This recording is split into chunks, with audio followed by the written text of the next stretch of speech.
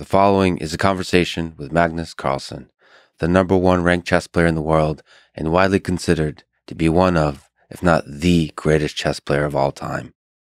The camera on Magnus died 20 minutes into the conversation.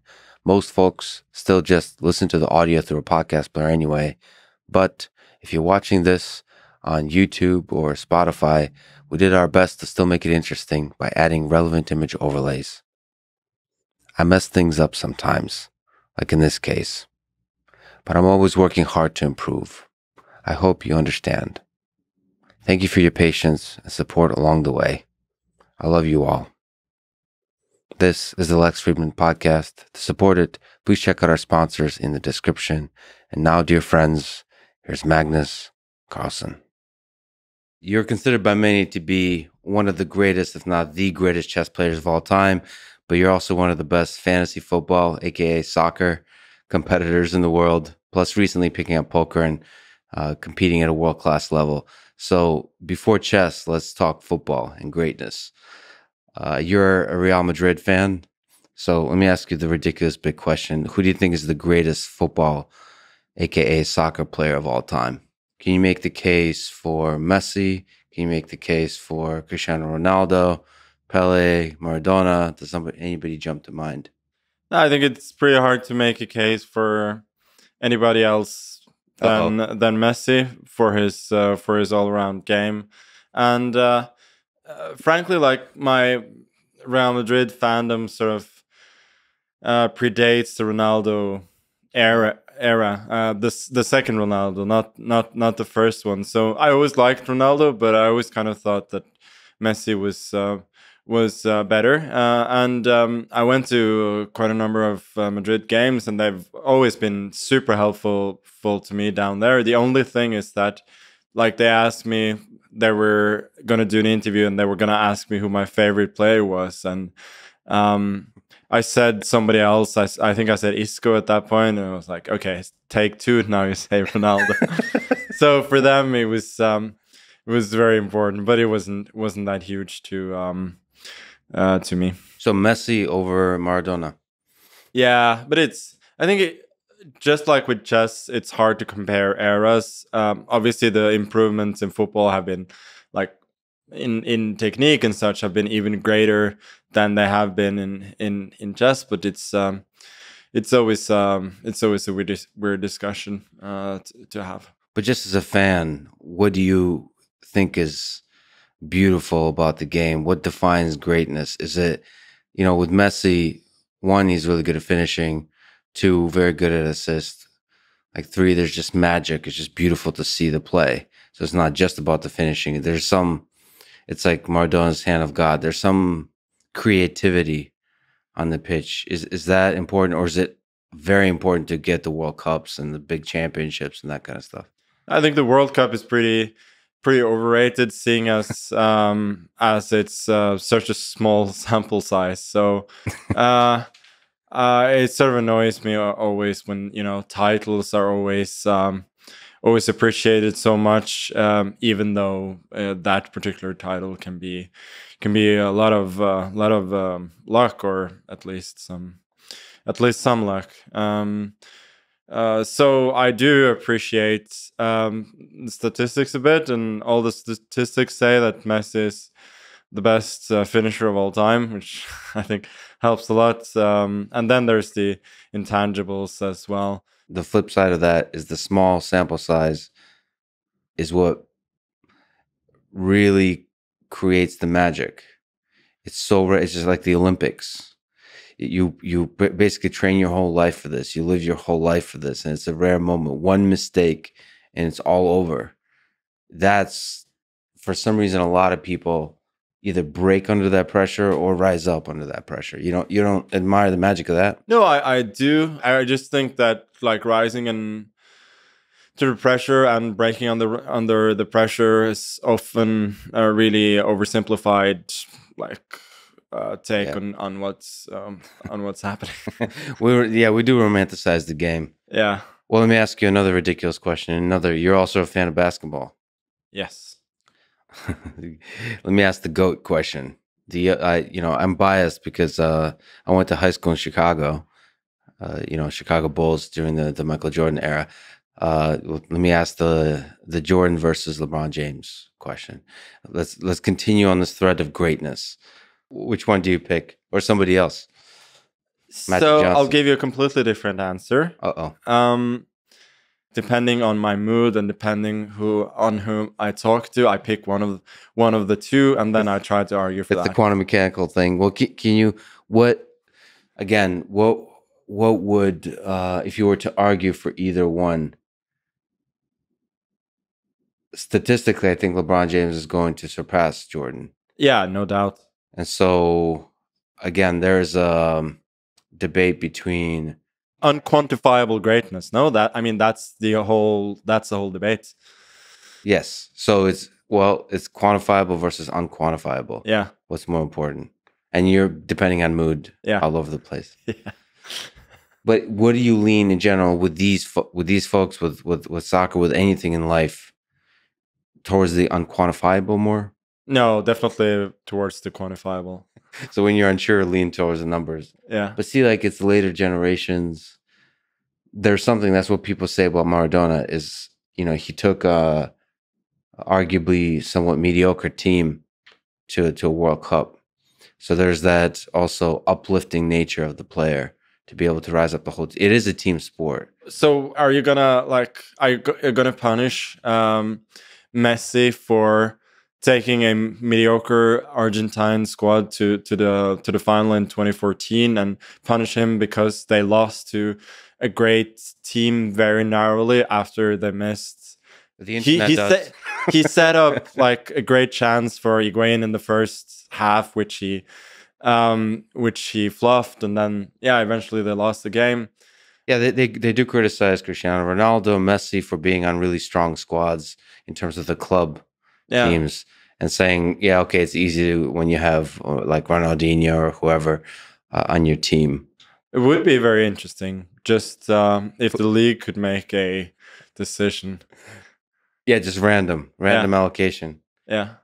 Um, and, and, just every single game, just keep re- relocating, or maybe once a season, um, or every season you get random. Yeah, but but let, let's say every every player um, if let's say they sign a five year contract for a team, like one of them you're going to get randomly allocated to, to let's say a bottom half team. I, I, bet you there's going to be so much corruption around that. no, I mean, obviously it wouldn't wouldn't ever happen or or, yeah. or, work, but I think it's, it's you never know. Interesting to think about. So on chess, let's uh, zoom out. If you break down your approach to chess, when you're at your best, uh, what what do you think? Um, what do you think contributes to that approach? Is it memory recall of specific lines and positions? Is it intuition? How much of it is intuition? How much of it is pure calculation? How much of it is messing with the strategy of the opponent? So the game theory aspect, in terms of what contributes to the highest level of play that um, that you do. I think the answer differs a little bit now from what it did eight years ago. Uh, for instance, like I've I feel like I've had like two peaks in in my career in 2014. Uh, well, 2013, 2014, and also tw- in 2019. And in those years, I, I was very different um, in terms of um, of my strength strengths. Uh, specifically in 2019, I benefited a lot from opening preparation. Uh, while in 2013, 2014, I mostly tried to avoid my uh, opponent's uh, preparation rather than that being a um, being a strength.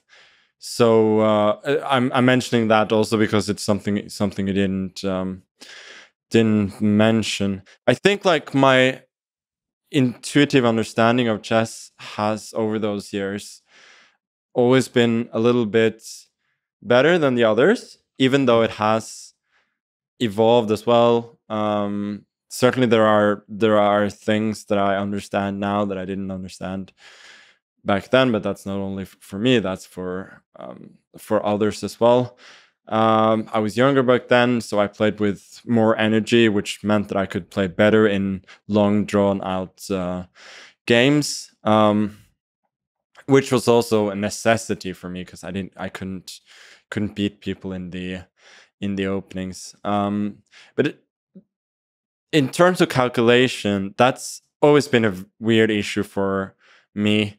Like I've always been really, really um, bad at solving exercises in chess. Like that's been like a blind spot for me. First of all, I found it hard to concentrate on them um, and to look uh, to look deep enough. So this is like a puzzle, a position, yeah. mate in X. I mean, one thing is mate, but find the best move. That's Find- generally the exercise. Like find the best move, find the best line.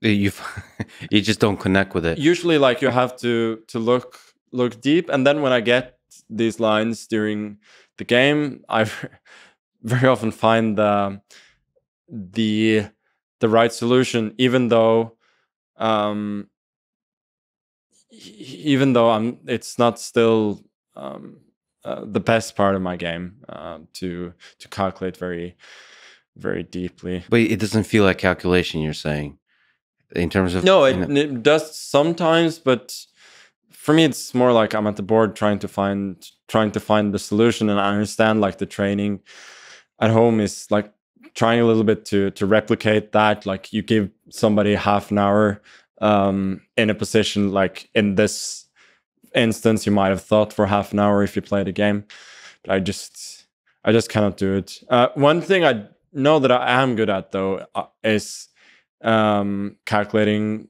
short lines uh because I calculate them them well. I'm good at seeing um, little details, and I'm also much better than than most at uh, evaluating, uh, which I think is something that sets me uh, sets me uh, apart from from others. So evaluating specific position, if I if I make this move and the position changes in this way, is this the ri- a step in the right direction, like in a big picture way? Yeah, like you calculate a few moves ahead and then you evaluate because a lot of a lot of time, a lot of the times you cannot. Um, the branches become so big that you cannot calculate everything. So you have to Like a to, fog. yeah. So you have to you have to make valuations based on you know based mostly mostly on uh, knowledge and and intuition. And somehow I seem to do that uh pretty well. When you say you're good at short lines, what's that? What's what's short? That's usually like lines of um two to four moves each. Okay, so that that's directly applicable to even faster games like Blitz, chess, and so on. Yeah, um, Blitz is uh, a lot about calc- calculating force lines. So those you can see pretty clearly that the players who struggle at Blitz, who are great at classical, are those who rely on a deep calculating ability because you simply ha- don't have time for for that in Blitz. You have to calculate quickly and rely a lot on intuition. Can you try to? I know it's really difficult. Can you try to talk through what's actually being visualized in your head? Is there is there a visual component? Yeah, no, I just visualize the board. I mean, the board is in is in is in my head. Two dimensional? My interpretation is that it's it is two uh, two dimensional. Like what colors? Is is it brown tinted? Is it black? Is it uh like what's the theme? Is it a big board, small board? Are the uh what do the pawns look like? or is it more in the space of concepts? Like uh Yeah, is, the, the, there are there aren't a lot of colors. It's it's mostly. Uh, what is it? Queen's I'm- I'm Gambit on trying- the I'm ceiling, right whatever. now to, uh, to to imagine it. what about when you do the branching, when you have multiple boards and so on? What how does that look? Are you No, but it's only one at a time. So like one position at a time? one position at a time so then i go back and uh, and that's what when when people play or at least that's what i do when i play blindfold chess against several people then it's just always one board at a time and the rest are stored away somewhere But how do you store them away? So like you went down one branch, you're like, all right, that's I got that. I understand that that's there's some good there, there's some bad there. Now let me go down another branch. Like how do you store away the information? You just put it on a shelf, kind of. I, I try and store it away. Sometimes I have to sort of repeat it because I forget. Um, and it does happen frequently in games that um, you're thinking for, especially if you're thinking for long, let's say half an hour, or even more than that, that you play a move and then your opponent plays a move, then you play a move and they play a move again, and you realize, oh, I actually calculated that. I just forgot about it. Mm. Um, so that's obviously what happens when you store the information and you cannot retrieve it. When you think about a move for 20, 30 minutes, like how do you break that down? What can you describe what like what's the algorithm here that takes 30 minutes to run? 30 minutes is uh at least for me it's usually a waste. Um 30 minutes usually means that I don't know what to do. and I'm trying You're just running into the wall over uh, and yeah, over. I'm trying to find something that isn't there. I think um 10 to 15 minutes things in complicated positions can be really really uh helpful then you can spend your time pretty um efficiently um just it just means that the branches are getting getting wide there's a there's a lot to um, to run through, um, both in terms of calculation and lots you have to evaluate as well. And then based on based on that 10 to 15 minute think you you have a pretty good idea uh, what to what to do i mean it's it's very rare that i would think for half an hour and i would have a eureka moment during the game like if i haven't seen it in 10 minutes i'm probably not going to see it at all you're going to different branches. Yeah. And like after 15 minutes, it's like. But it mainly to the middle game because when you get to the end game, it's usually brute force calculation that makes you spend so much time.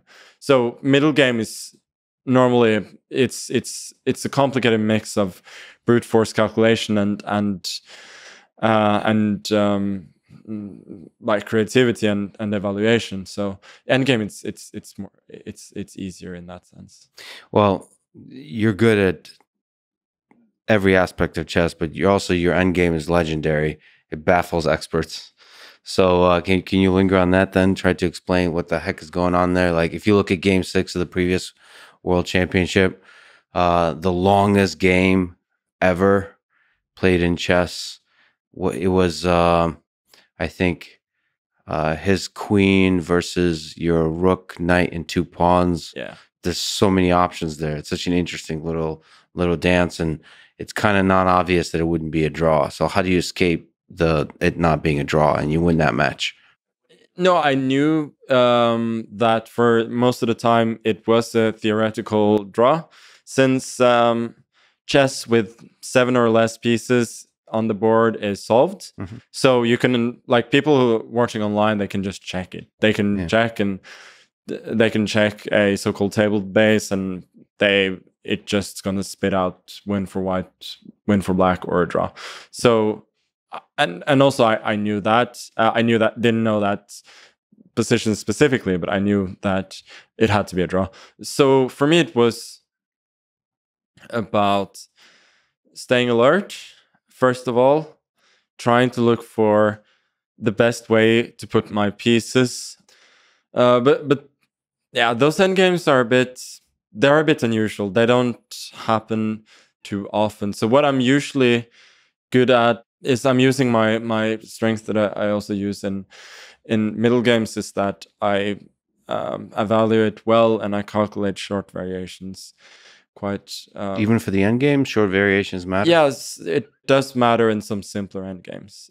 Yeah. But also like there are these theoretical endgames with very few pieces like rook knights uh, and two pawns versus queens but a lot of endgames are simply defined by the queens being exchanged mm-hmm. and there are a lot of other pieces left and then it's usually not brute force it's usually more of um, understanding and evaluation, and that, then I can use my my strengths um, very well.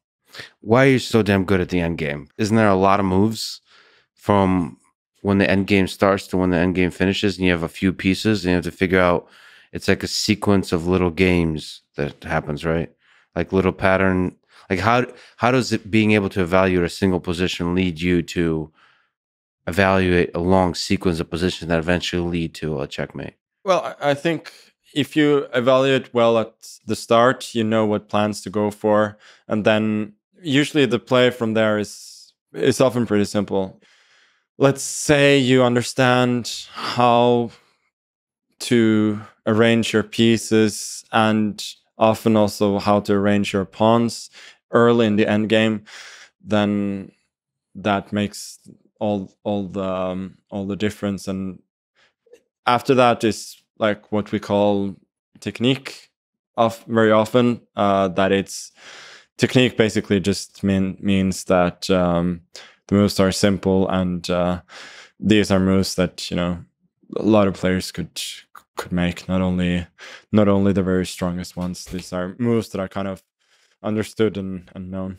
So with the evaluation you're just constantly improving a little bit and that just leads to suffocating the position and then eventually to the win as long as you're doing the evaluation well one step at a time. To some extent. Also yeah as i said like if you evaluate it better and thus accumulated some some small advantages then you can you can often make your your your life pretty easy uh, towards the end of the end game so you said in uh, 2019 sort of the second phase of why you're so damn good you uh you did a lot of opening preparation what's the goal for you of uh, the opening game of chess? Is it to throw the opponent off from any prepared lines? Is there something you could put into words about why you're so damn good at the openings?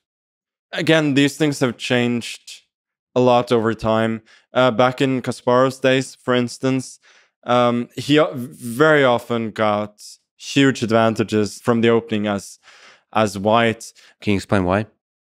There were several reasons for for that. First of all, he he worked harder. He was more creative in finding ideas. He was able to look places others didn't.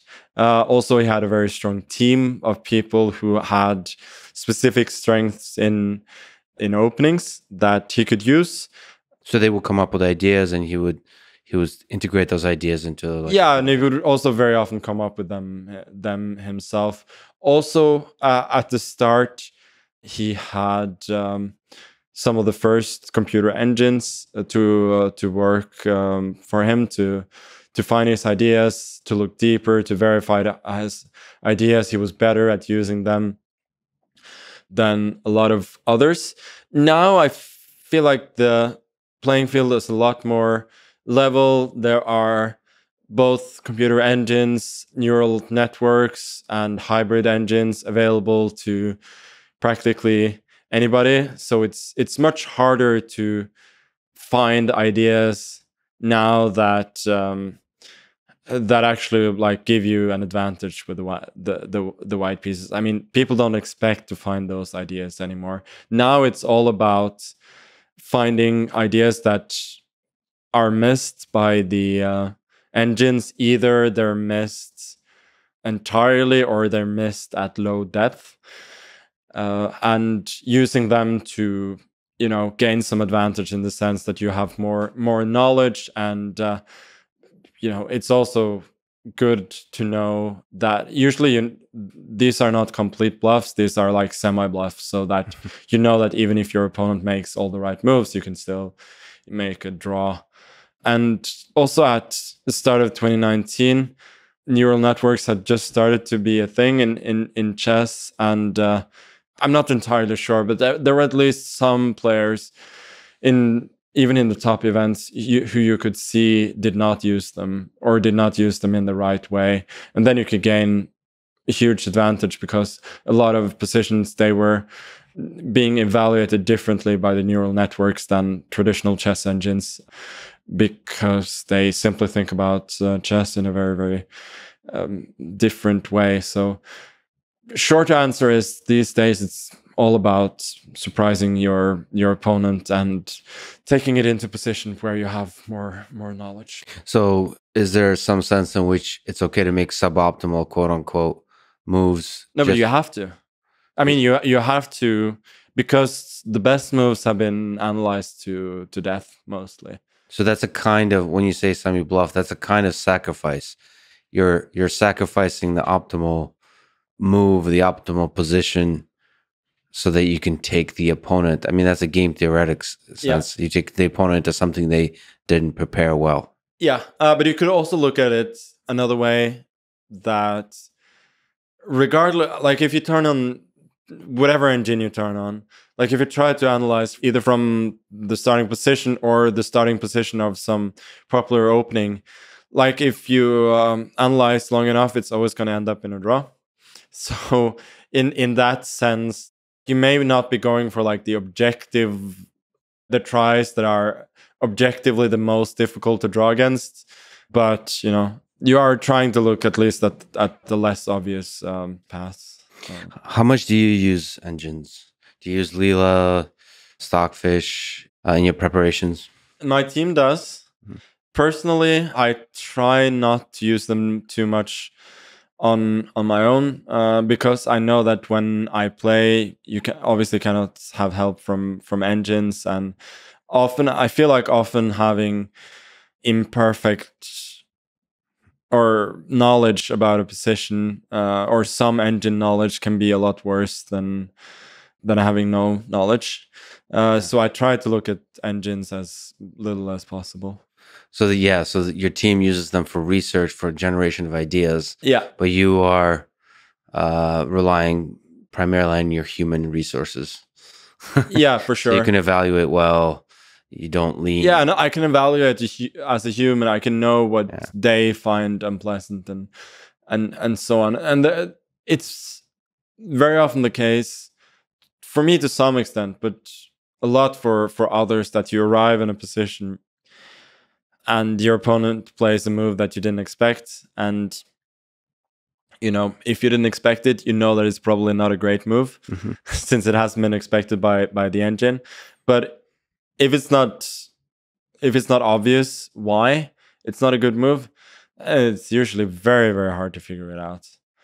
And so then looking at the engines doesn't necessarily help because at that point like you're facing a human you have to, to sort of think as a human I was chatting with Demis Hassabis, CEO of DeepMind, a couple days ago, and he asked me to ask you about what you first felt when you saw the, the, the play of Alpha Zero like it, interesting ideas, any creativity.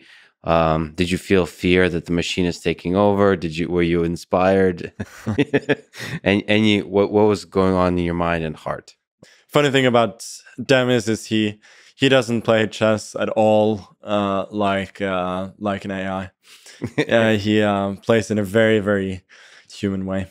No, uh, I was hugely inspired when I I saw the games at first. Um, and it, in terms of man versus machine, I mean that battle was was kind of lost for humans even before I entered top level chess. Um, so that's never been an issue uh, for me. I never never liked playing against computers much anyway. So so that's completely fine. But it was amazing to see uh, how they quote unquote thought about chess and in such a different way and in a way that you could mistake for creativity.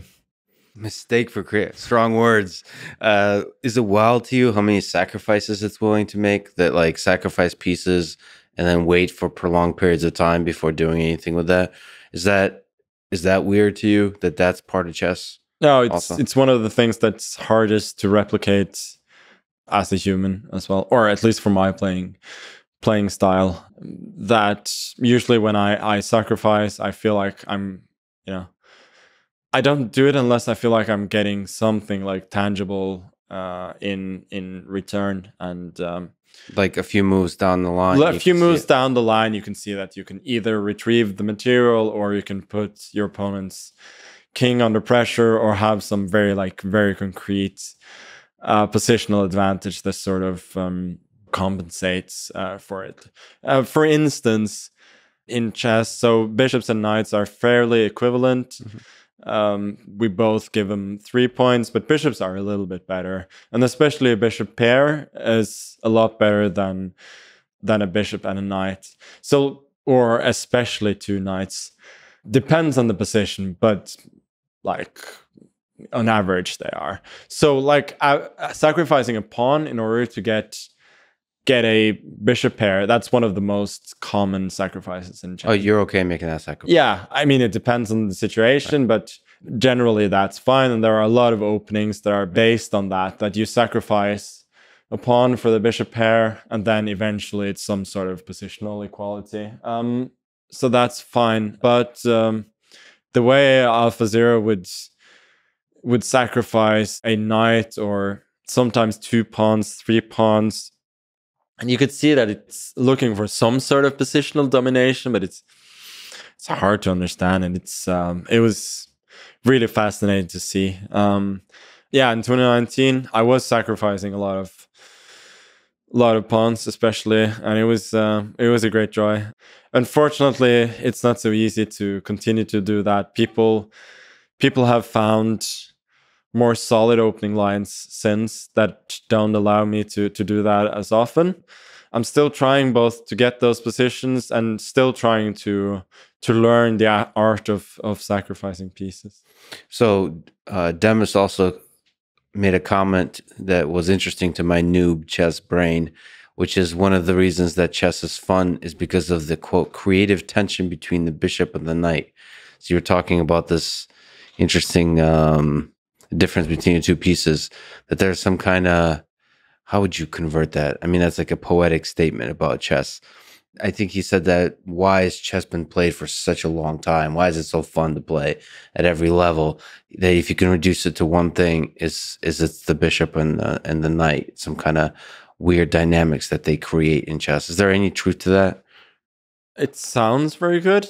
I haven't tried a lot of other games, but I tried to play a little bit of shogi, mm-hmm. and for my noob shogi brain, mm-hmm. um, comparing it to chess, what annoyed me about that game is how much the pieces suck.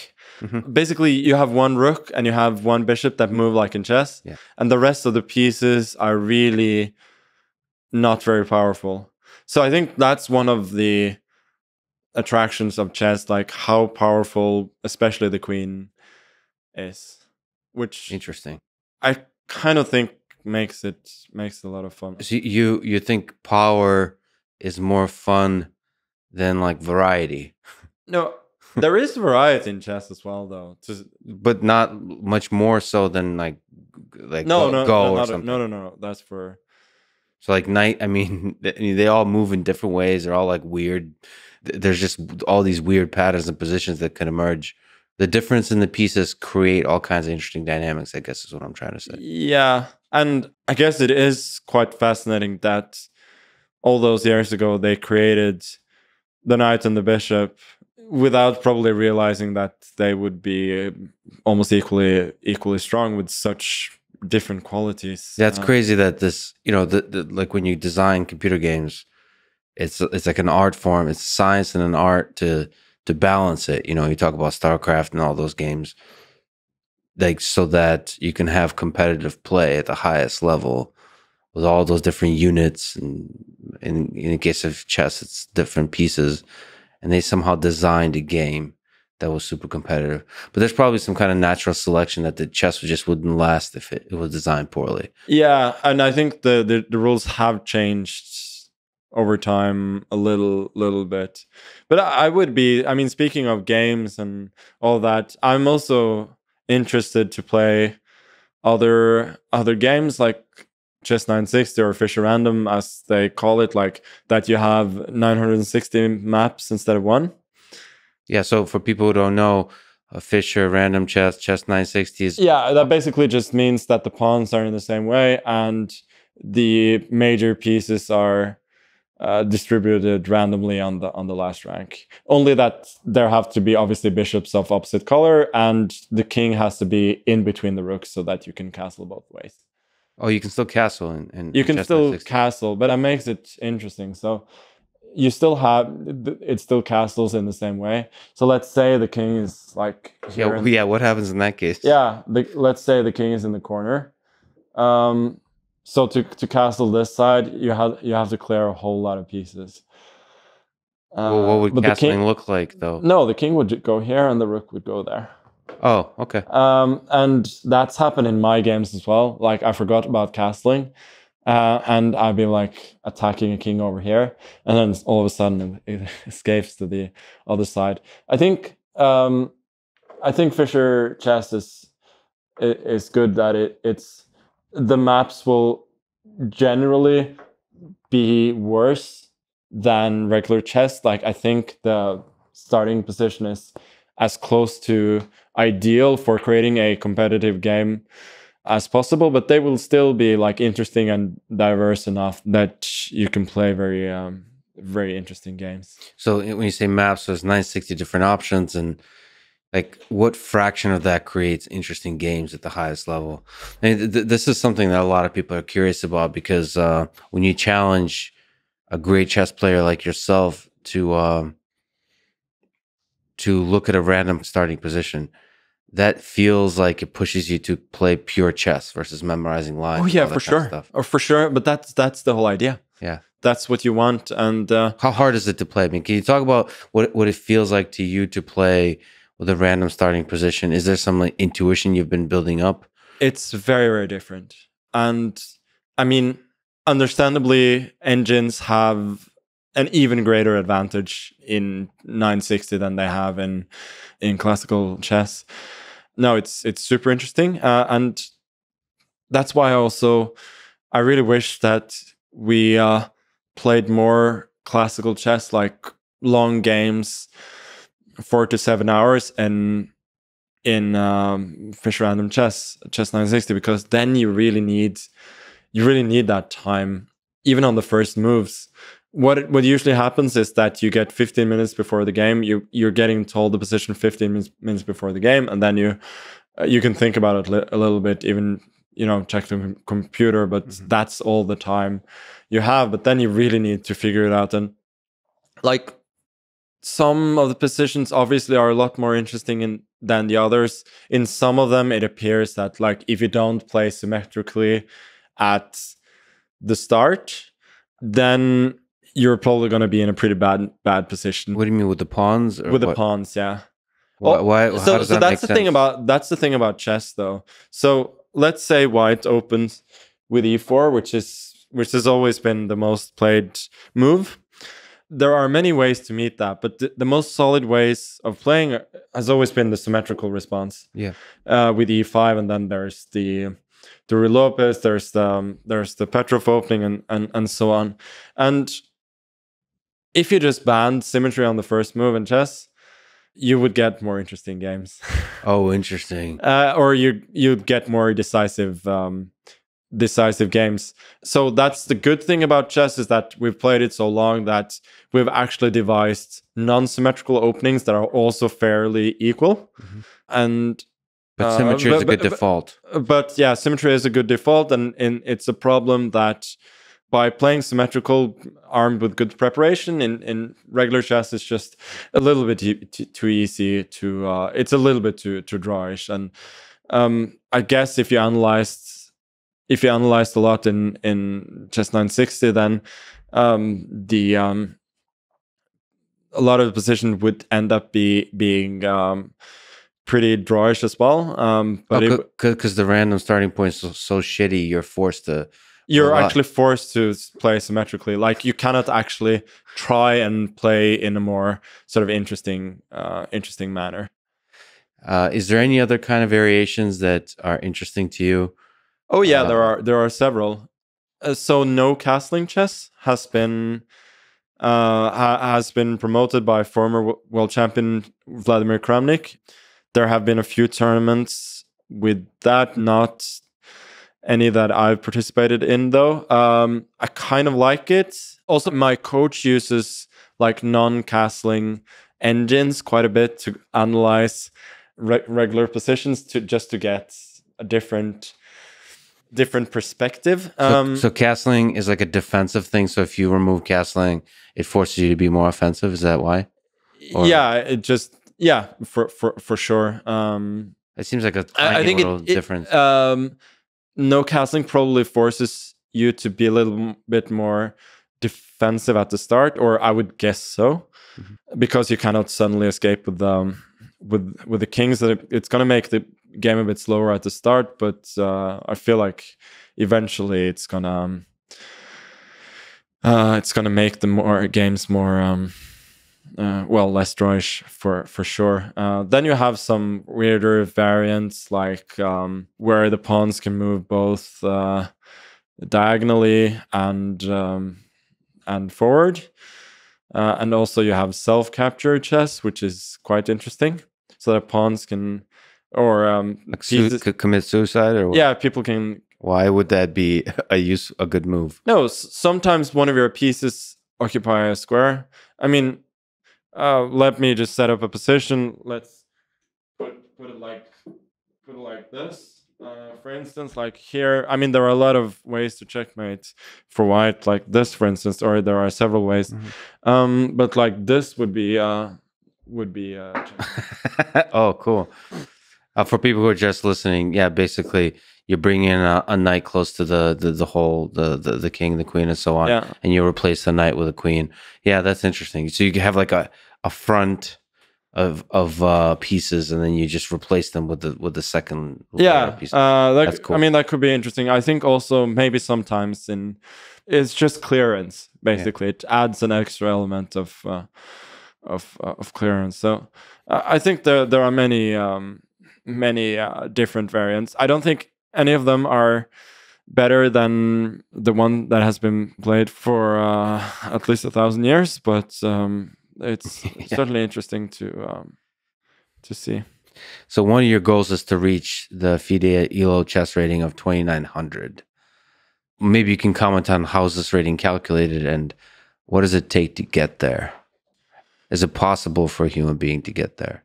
Basically, you play with a factor of um, 10 uh, which means that if I were to play against um, an opponent who's rated the same as me, I would be expected score 50%, obviously, and that means that I would win five points with a win, uh, lose five points with a draw, and then equal if I if I draw. If your opponent is 200 points lower rated, you're expected to score 75%, and and and so on and you establish that rating by playing a lot of people and then it slowly yeah. converges towards an estimate of how likely you are to win or lose against different yeah people. and uh, my rating is obviously carried through thousands of of games. Um, right now my rating is 2861 which is decent. Like i think that pretty much corresponds to uh, to the level i have at at the moment, uh, which means in order to reach 2900, I would have to either get better at chess, which I think is fairly hard to to do, at least considerably better.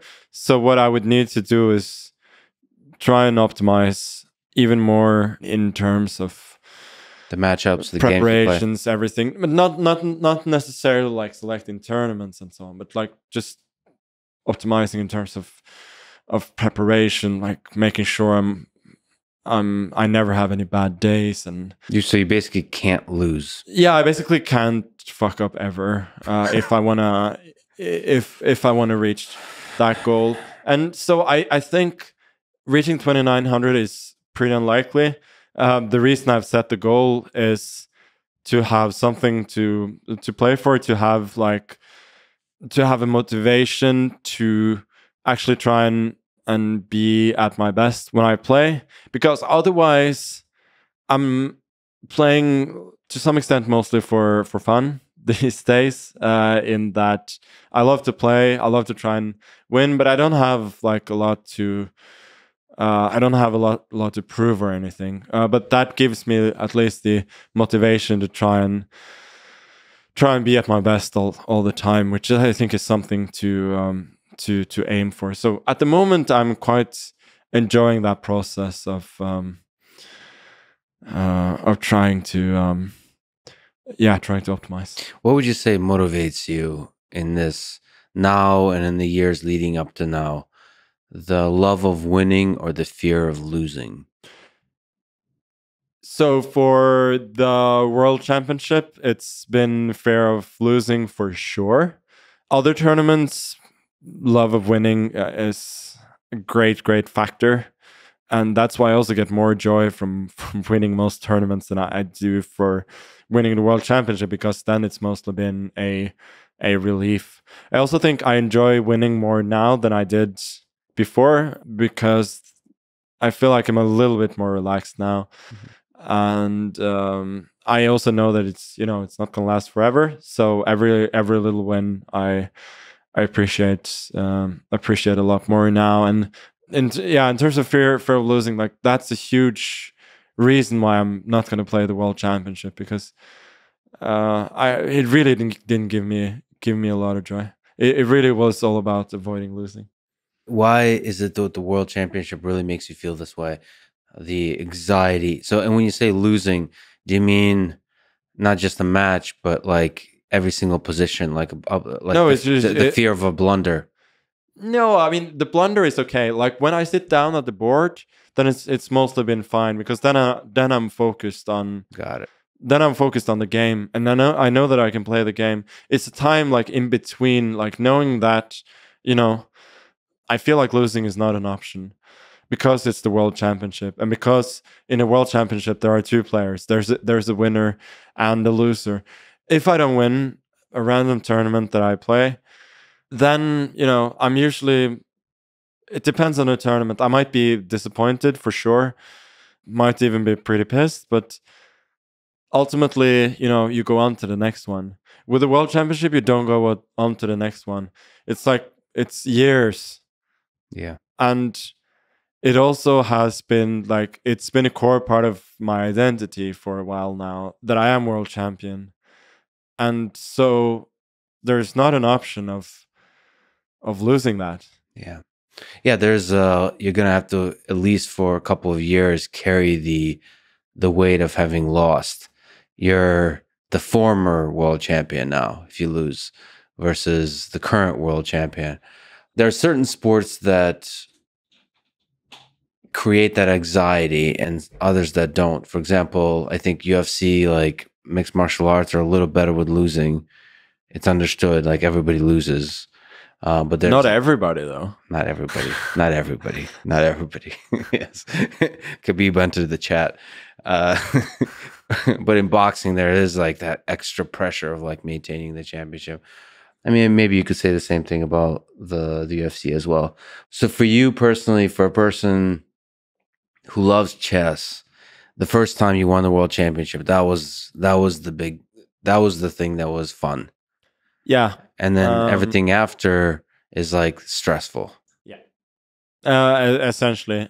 There was certainly stress uh involved the first time as well. Um but it was nothing compared to uh compared to the others so the only world championship after that that I really enjoyed was the one in 2018 against the American Fabiano Caruana. Mm-hmm. And what that made that different is that I'd been kind of slumping for a bit and he'd been on the rise.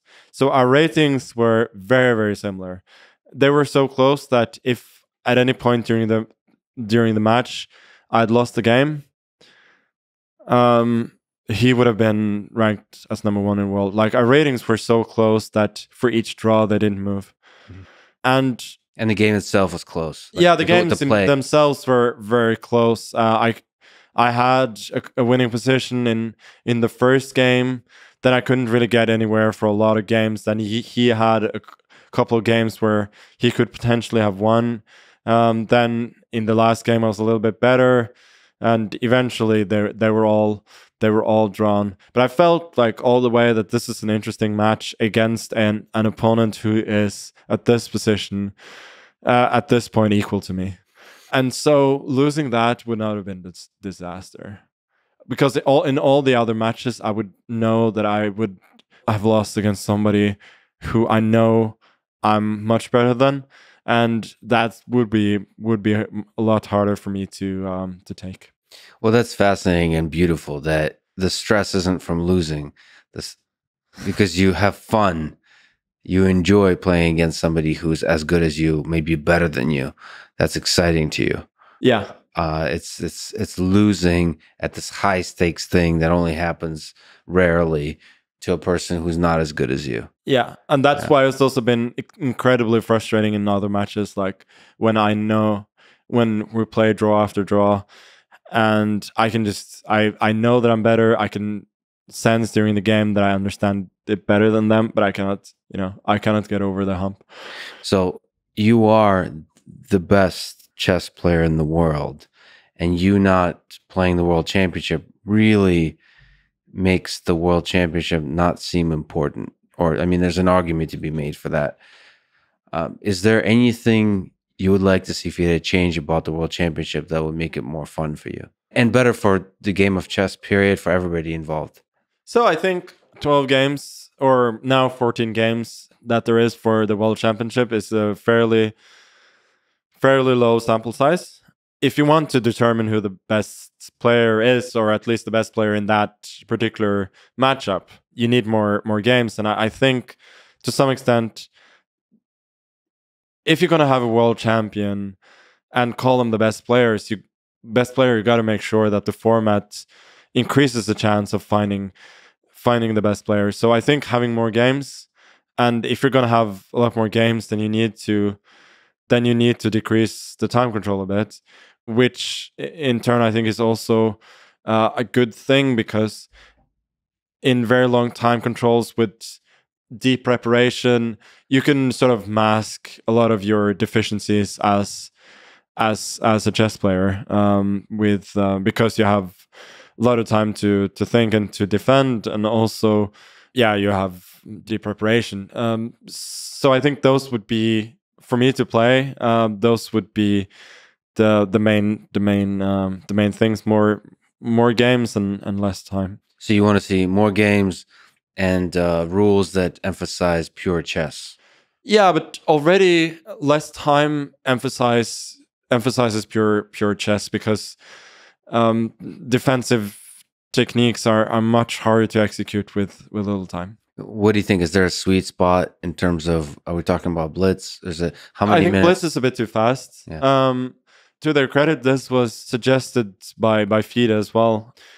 For a start, to have two games per day, and let's say you have forty five minutes uh, a game plus 15 or, or 30 seconds per move that means that each sessions will probably be about or a little less than two hours Yeah.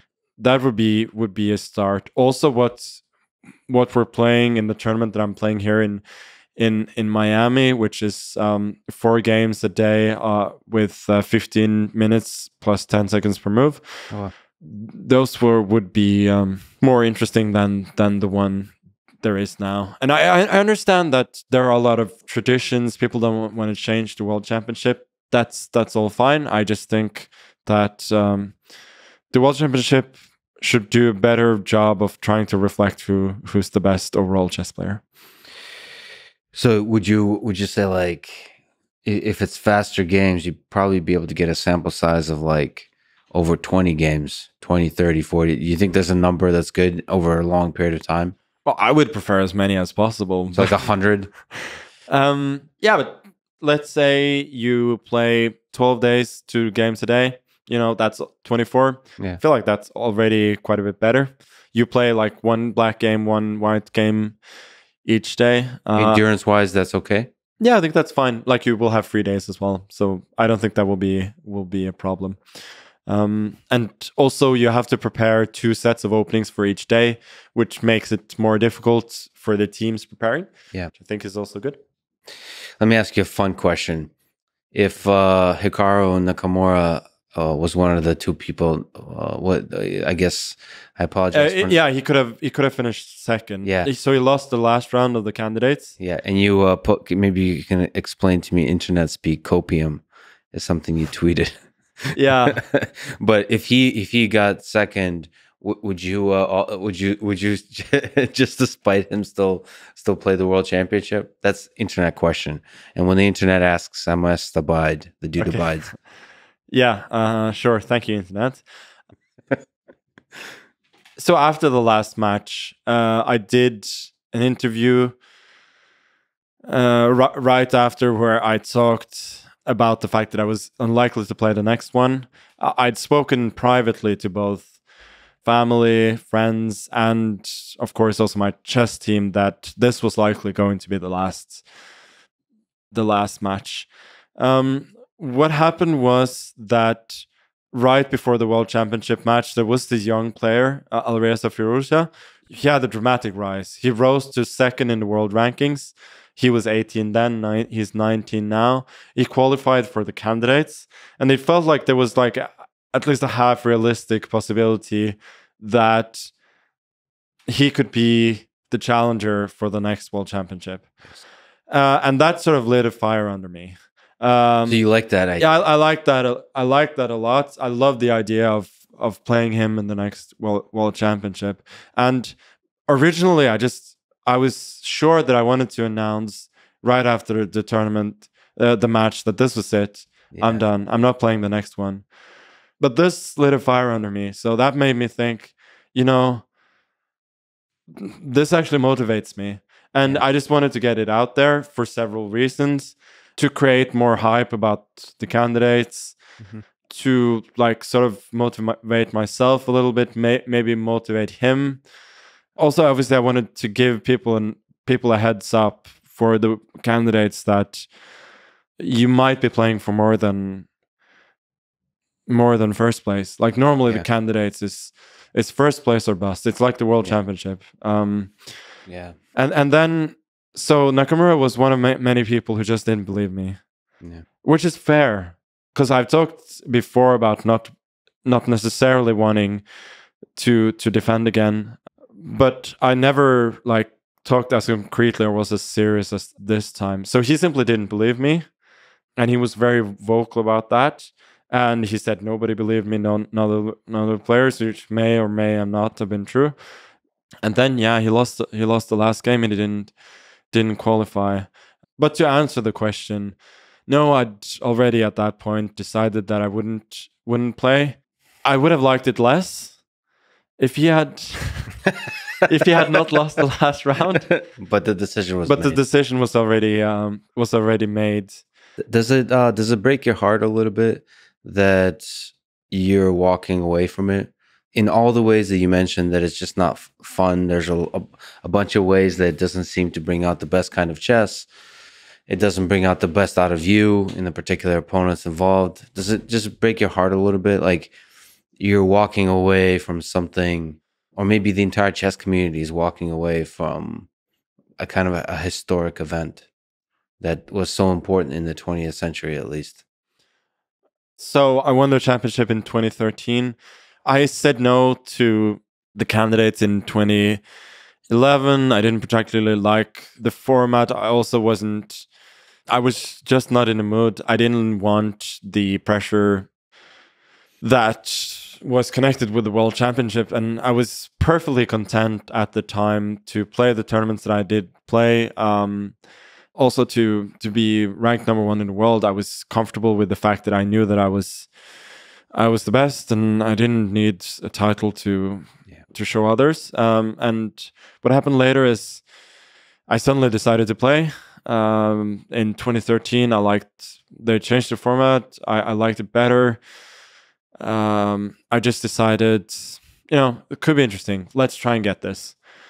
Um, there, there really wasn't more than more than that to it. It wasn't like fulfill fulfilling lifelong dream or anything. I just thought, you know, let's let's play. Um, so it's just a cool tournament. A yeah, it's, it's, a cool let's, cool tournament. It's a good challenge. You know, why not? It's it's something that's could be a motivation. It motivated me to get in the in the best shape of my life that had been till then. So it was a good thing. Uh, and 2013 match brought me a lot of lot of joy as well. So I'm very very happy that I that I did that. But I never had any thoughts that I'm gonna like keep the title for for a long time.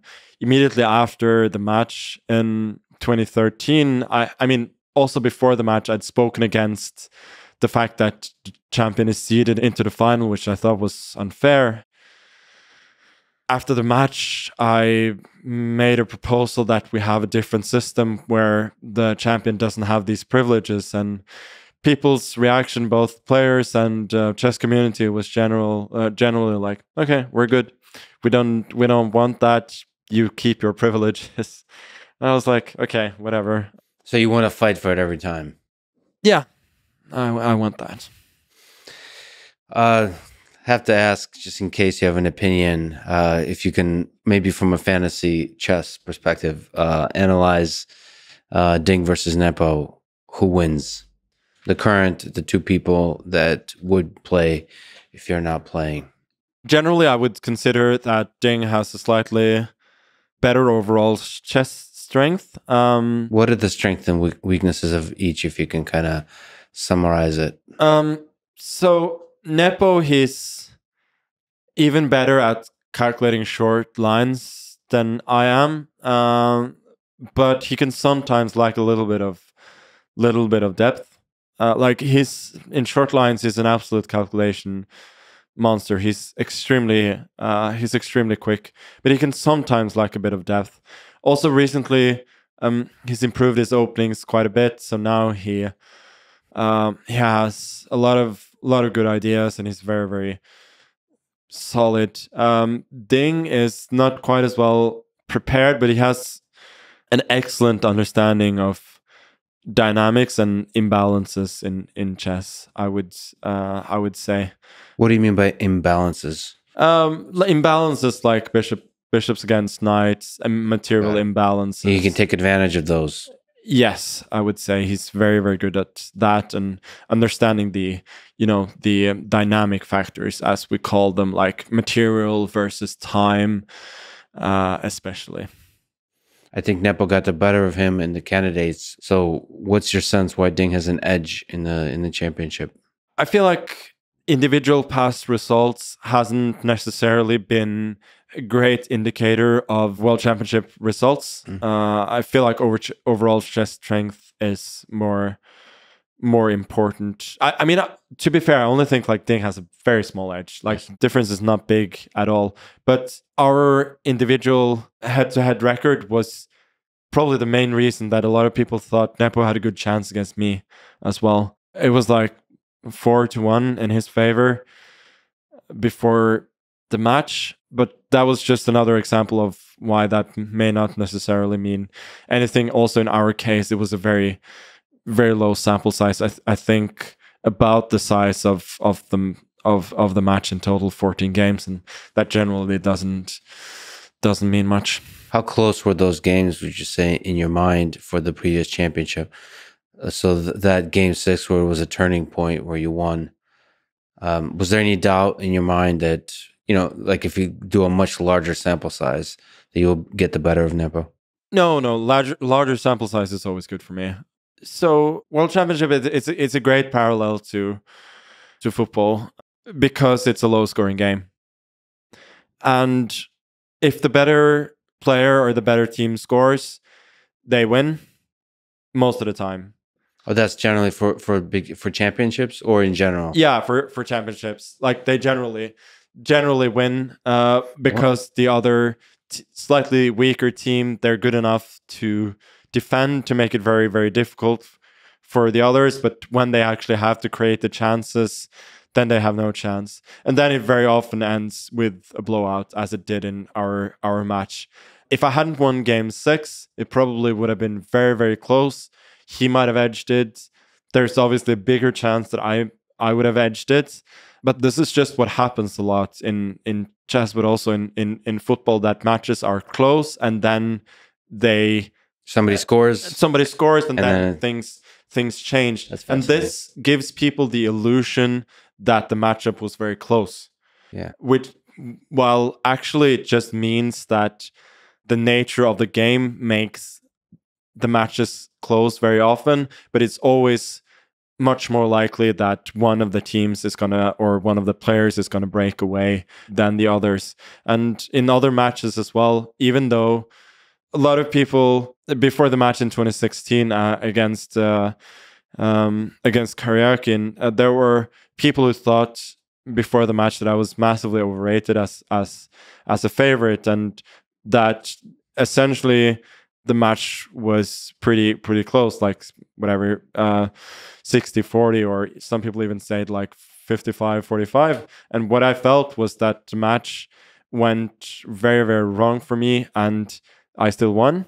Uh, and some people saw that as an indication that the pre-match probabilities were probably a bit closer than people thought. Well, I would look at it in that in the way that everything went wrong, and I I still I still won, which probably means that I was pretty big favorite to begin with. I do have a question too about that match, but first, so Sergei Karyakin was originally a qualifier for the candidate, candidate tournament, but was disqualified for breaching the FIDE code of ethics after publicly expressing approval for the 2022 Russian invasion in Ukraine.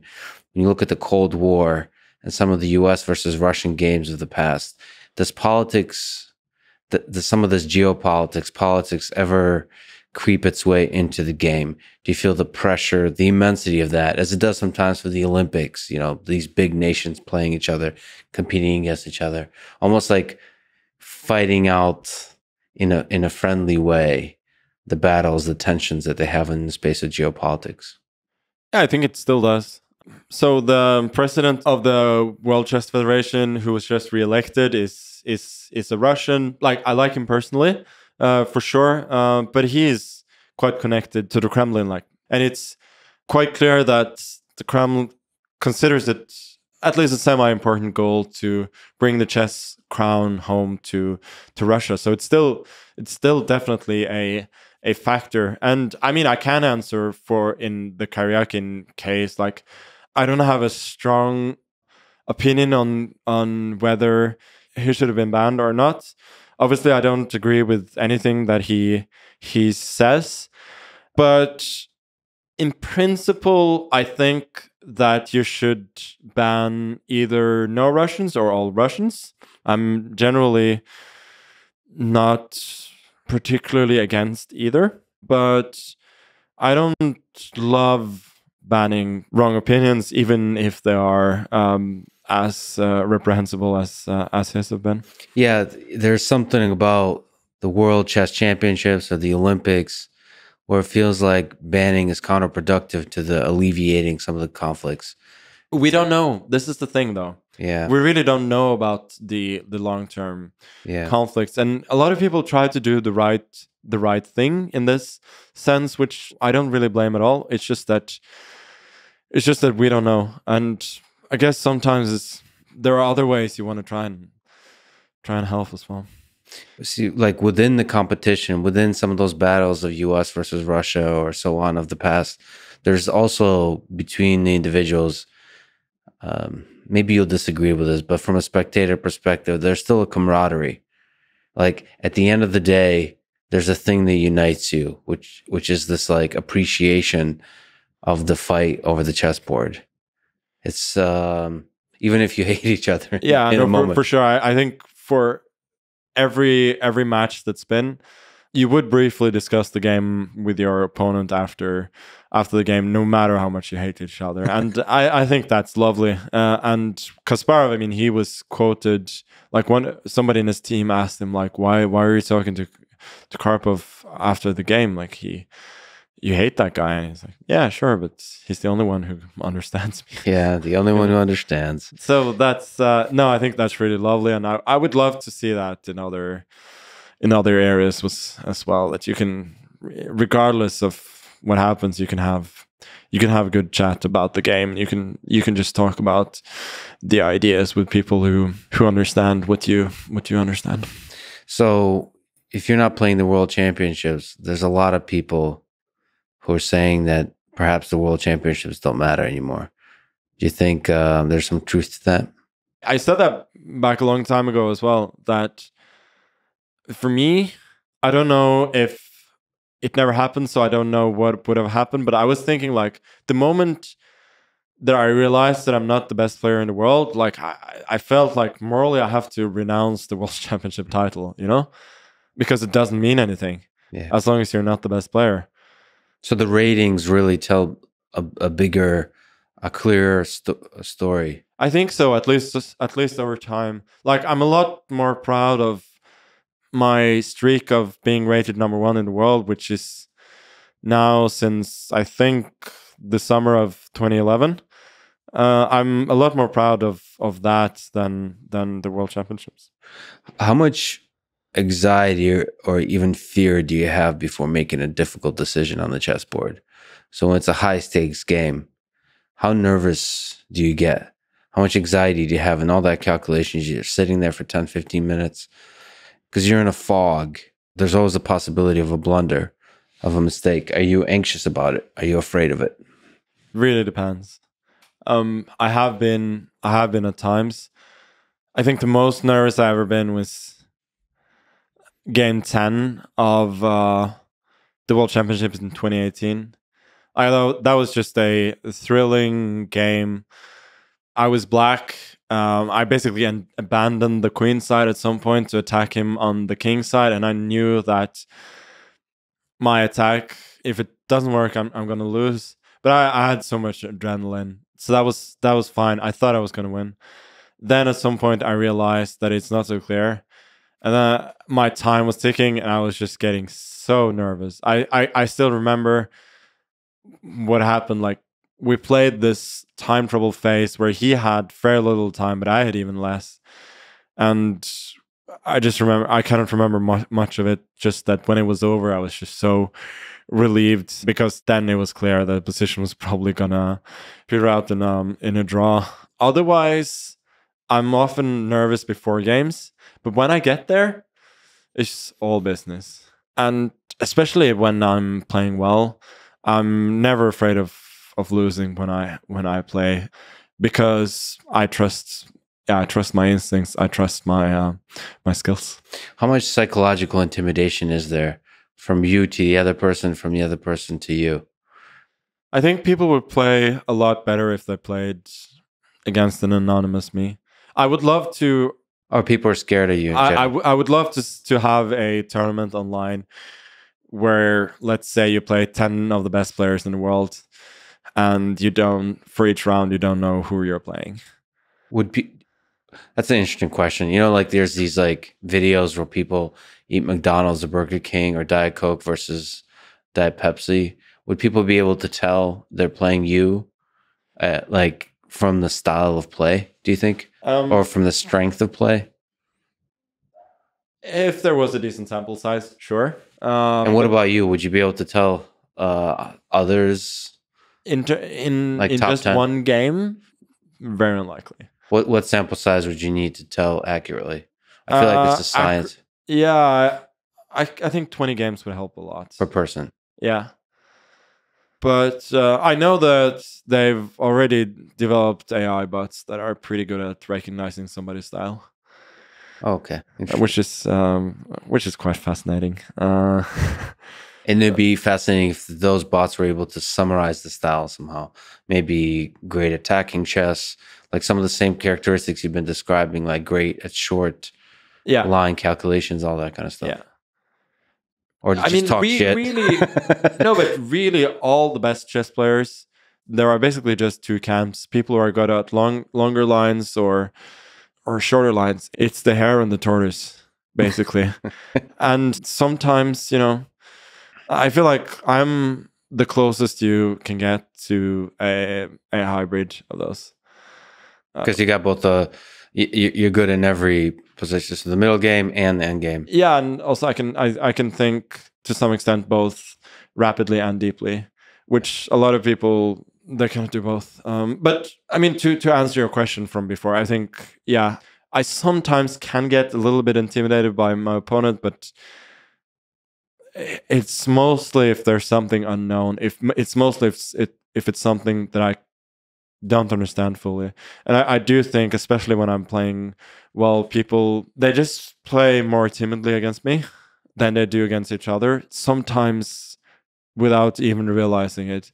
And I certainly use that to my my advantage. If I sense that my opponent is apprehensive, if I sense that they're not going to necessarily take all their chances, it just means that I can take more risk. And um, I always try and try and find that uh, balance. to shake them up a little bit. Yeah. What what's been the toughest loss of your career that you remember? Would that be the um, the World Championship match? Oh yeah, for Yes. sure. Uh, Can you the ta- game, take- game eight in 2016 And who was it against? against Karyakin in in New York? Can Um, you take it through the story of that game? um, Where were you um before that game in terms of game one through seven? Yeah, so game one and two, not much happened. Uh, game three and four, I was winning in both of them, and um, normally I should definitely have converted both. I couldn't, partly due to good defense on on his part, but mostly because I just I messed up. Uh, and then after that, games five, six, and seven, not much happened, I, w- I was getting impatient at, at, at that point. Um, so for game eight, I was probably ready to take a little bit more risks than I, I had before, which I guess was insane because I knew that he couldn't beat me unless I beat myself. uh, like he wasn't strong enough to outplay me. And that was leading to impatience somehow, and impatience no, because I knew that I was better. Yeah. I knew that I was better. I knew that I just needed to win one game and then the match is over. Yeah. That's what happened in, in 2021 as well. Like when I won the first game against Nepo, I knew that the match was over. Unless I like fuck up royally, then he's not gonna be able to beat me. So what happened was that I played a kind of an innocuous opening as white, just trying to get a game, trying to get him out of book as soon as possible. Then okay, can you elaborate? Innocuous, get him out of the book.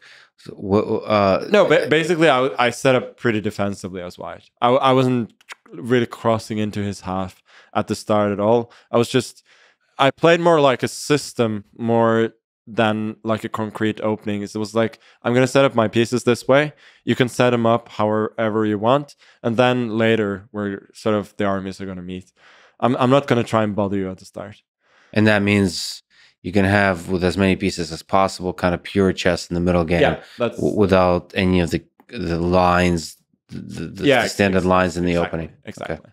And so there was at some point a couple of exchanges, then some maneuvering, a little, little bit better. Then he was sort of equalizing, and then I started to take too many risks, and I was still sort of fine. Um, but then at some point I realized that I'd gone a bit too far and I had to be really careful. Then I just froze.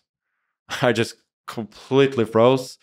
Uh, mentally, like what, yeah, mentally. What, what I, happened? Do you, I realized that. I mean, all the thoughts of I might lose this. What have I done?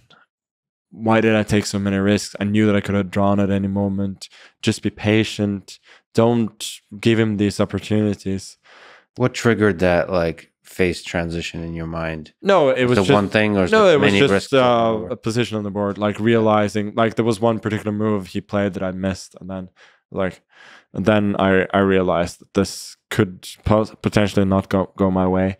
So then I made another couple of mistakes, and he, to his credit, like once he realized he had the chance, he was like he knew that this was his one chance. He had to take it, and so he did and yeah, that's that's the the worst I've ever felt after um, after a chess game. I realized that I'm probably going to lose my title against somebody who's not even close to my level, and I've done it because of my own stupidity, most of all. Uh, and that was really, really um, at the time, like I was all in my own head. That was that was hard to deal with, and I felt like I didn't really recover too much for the next game. So what I did, there was a free day after the eighth game, so I did something that I never did at any other world championship. Like I, after game eight, I just I got drunk with my team. Mm-hmm. and that's uh, not a standard procedure. No, no, that's that's the only time that's happened in um, in the world championship during the match. So yeah, I just try to forget. Uh, but still, before game nine, game nine, I was a little bit more relaxed, but I was still a bit nervous. Then game nine, I was almost lost as well. And then only game ten. Game ten, I was still I wasn't in a great mood. I was really really tense. Um, the opening was good. Uh, I had some advantage. I was getting optimistic. Then I made one mistake he could have forced a draw, and then the old old the negativity came back. Like I was thinking during the game, like how am I'm gonna play for a win with black in the next game. Like what what what am I doing? And then you know, eventually it ended. It ended well. It didn't find the right line. I ground him down. Actually, I played at some point pretty well in the end game. And um, after that game, like there was such a weight Lifted? Lift, lifted. No, the, I, I. After that, there was like no thought of losing the match whatsoever. I knew that. Okay, I'd basically gotten away with, um, not with murder, but get gotten away with something. What can you say about the after game eight? Where are the places you've gone in your mind? Do you go to some, some dark places? We're talking about like depression. Do you think about quitting at that point? No, I mean, I, I think about quitting every time I lose the classical game, or a- at least I used to. Yeah. Like, especially if it's in a stupid way, uh, Yeah. I'm thinking like, okay, if I'm gonna gonna play like this, if I'm gonna do things that I know are wrong, then you know I might as well quit. No, that's happened. That's happened a bunch of bunch of times, and I've definitely gotten a bit more carefree about losing these days, which it's not necessarily a good thing. Like my hatred of losing led to me not losing a lot, and it also lit the fire under me that I think my performance after losses in in classical chess over the last 10 years is like over 2900 Mhm. like i really play well after a loss even though it's really really unpleasant so apparently like i don't think the way that i dealt with them is particularly healthy but it, it's worked it's worked so far. But then you've discovered now a love for winning to where ultimately longevity wise creates more fun. yeah for sure Yeah. What's the perfect day in the life of Magnus Carlsen on a day of a big chess match? It doesn't have to be world championship, but if if it's if it's a chess match you care about, what uh what time do you wake up? What do you eat? Uh, it depends on when the game is, but let's say the game is at three. Uh, I'll probably wake up uh, pretty late at about eleven. Then I'll go for go for a walk. Uh, might listen to some podcasts. Maybe I'll spend a little bit of time looking at some, you know, some NBA game from the last night or whatever. So not chess related stuff. No, no, no, no. Uh, then I'll I'll get back. I'll have big lunch, like usually like a big omelet with a bunch of salad and stuff. Then go to the game, win like a very nice clean game. This is perfect day. Just go back after, relax. Like the the things that make me the the happiest at tournaments is just having a good routine and uh, feeling feeling well. Um, I don't like it when too much is happening around me. So the tournament that I came from now was um, the Chess Olympiad, which is a team event. Mhm. Uh, so we were Team Norway. We did horribly. Yeah. Uh, I like I did okay, but the team in general did did horribly. Uh, Who and I won did- that? Italy? Uh, Oh, no, no, Italy beat us, but Uzbekistan won in the end. Yeah. They uh, were this amazing team of young players. It was really, it was really impressive. But the thing is, like, we had a good camaraderie in the team. We had our meals together. We played a bit of football, went swimming, and I couldn't understand why things went wrong, and I still don't understand. But the thing is, for me, it was all very nice. But now I'm so happy to be on my own at a tournament, just to have my own routines, not see too many people. Yeah. Otherwise, just have like a very small team of people that I see. you are a kind of celebrity now. So, you know, people within the chess tournament and outside would recognize you, want to socialize, want to tell you about how much you mean to them, how much you inspire them, all that kind of stuff.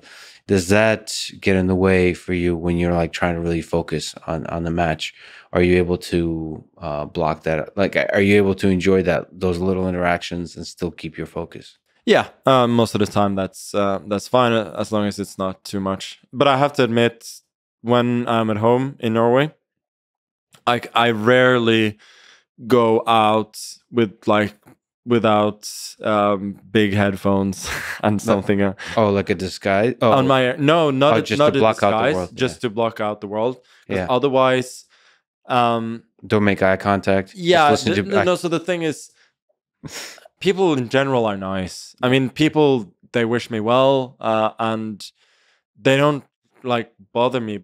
Also, when I have the headphones on, I don't notice as much people like turning around and Yeah. and all of that, so I can be more of in my own world. Uh, so I like that. Yeah. Uh, what about after the, the in this perfect day after the game? Do you try to analyze what happened? Do you try to think through systematically, or do you just kind of loosely think about like?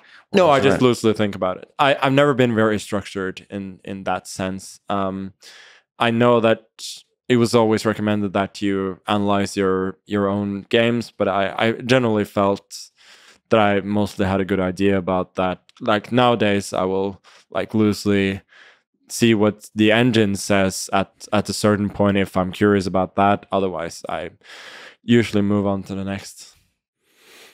What about diet? You said omelet and salad and so on. I heard uh, in your conversation with the uh, with the other Magnus, Magnus number two, about your you had like this bet about meat. You one of you are gonna go vegan if you lose. I forget which bet. Vegetarian though. Ve- oh, vegetarian, sorry. And uh, you both have an admiration for meat. Is there um, is there some aspect about optimal performance that you look for in food, like maybe eating only like once or twice a day, or a particular kind of food, like meat heavy diet? Is there anything like that, or you just try to have fun with the food? I think um, whenever I'm at tournaments, like it's very natural to eat, at least for me, to eat only twice a day. So usually I do that when I'm at home as well. Before, so you you do eat before the tournament though. You don't you don't play fasted. No, no, no, no. Um, but I try not to eat too heavy before the game, or in general to avoid sugary stuff to have a pretty stable uh, blood sugar level. Because that's the easiest way to make mistake that your your energy levels uh, just suddenly suddenly drop, and they don't necessarily mean need to be too high as long as they're pretty stable. Yeah. Have you ever tried playing fasted, like you know, like uh, intermittent fasting? So Oh, playing without having eaten. I mean, the reason I ask, you know, uh, I've especially when you do a low carb diet. When I've done a personally a low carb diet, I'm able to fast for a long time, like eat once a day, maybe uh, twice a day. But I just the mind is most focused on like really difficult thinking tasks when it's fasted. It's an interesting, and a lot of people kind of talk about that. yeah, but you're able to kind of like zoom in, and if you're doing a low carb diet, you don't have this energy, the energy stable. No, that is true. Maybe that would be interesting to try. So, what's happened for me is I played a few tournaments where I've had food poisoning, and then that generally means that you're both sleep deprived and you have no energy. Yeah. And what I've found is that it makes me to some it makes me very calm, of course, because I don't have the energy, and it makes me super creative. Like being sleep deprived, I think in general makes you creative. Just the first thing that goes away is the ability to do the simple things. That that's that's what if it affects you the most. Like you cannot be precise. So I'm that's the only thing I'm worried about. Like if if I'm fasted, that I w- won't be won't be um, precise when I play. but you might be more creative. It's an interesting trade. Fasted, yeah, potentially. What about you have been known to, on a, a rare occasion, play drunk? Is there a mathematical formula for sort of on the x axis how many drinks you had, and on the y axis your performance slash creativity? Is there like an optimal for like uh, one of the? Would you suggest for the FIDE World Championship that people would be required to drink? Would that change things in, in interesting ways? Yeah, not at all. Um, maybe for rapid, but for for blitz, I think if you're playing blitz, you're mostly playing on on short calculation and intuition, and I think those are probably enhanced if you've had a little bit of little bit to drink. Uh, Can you uh, explain the uh, the physiology of why that's why it's enhanced, or the You're just you're thinking less. You're more confident. oh yeah, it's I think- I think it's just confidence. I think also like a lot of people feel like they're better at speaking languages, for instance, if they've drunk a little bit. It's just like removing these barriers. yeah. I think that it's it's a little bit of the same in in chess. In 2012, I played the World Blitz Championship, and mm -hmm. then I, I was doing horribly for for a long time. I also had food poisoning there. I couldn't play at all for for three days. So there, before the last break, I was like in the middle of the pack, like in I don't know, twentieth place or something. And so I decided, like, as the last last gasp, I'm gonna go to the mini bar and just have a few drinks. And um, what happened is that I came back and I was suddenly relaxed. Hmm. Uh, and I was playing fast and I was playing confident. And I thought I was playing so well. I wasn't playing nearly as well as I thought, but it still helped me. Like I won my remaining eight games, and if there had been one more round, I probably would have won the whole thing. But finally, I was I was second. So generally, I wouldn't recommend that, but maybe as a last resort sometimes. Like if yeah. you feel that you have the ability, like obviously none of this is remotely relevant if you don't feel like you have the ability to begin with. But if you feel like if you feel like you have the ability, there are just factors that make it impossible for you to um, to show it. Like numbing your mind a bit can probably be a good thing. Yeah, well, it's interesting, especially during training. You have all kinds of sports that I've interacted with a lot of athletes in grappling sports. It's different when you train under extreme exhaustion. For example, you start becoming, you start to discover interesting things. You start being more creative. Yeah. A lot of people, um, in at least in uh, Brazilian jiu-jitsu they'll they'll smoke weed. You know it does it creates this kind of anxiety and relaxation that kind of uh, enables that creative aspect. It's interesting for training. Of course you can't rely on any one of those things too much but it, it's cool to throw in like a few drinks every once in a while to uh yeah one first of all to relax and have fun and two to kind of try things differently to unlock a different part of your brain. Yeah for sure uh, what about supplements? Do you uh, you a coffee guy? Oh no. Um, I quite like the taste of coffee. Mm-hmm. Uh, I've but, but the thing is, I've never had a job, so I've never needed to wake up early. Yeah. So my thought is basically that if I'm tired, I'm tired. That's fine. Yeah. Then I'll you know then I'll I'll, I'll work it out. So I don't want to ever um, make my brain get used to get used to coffee.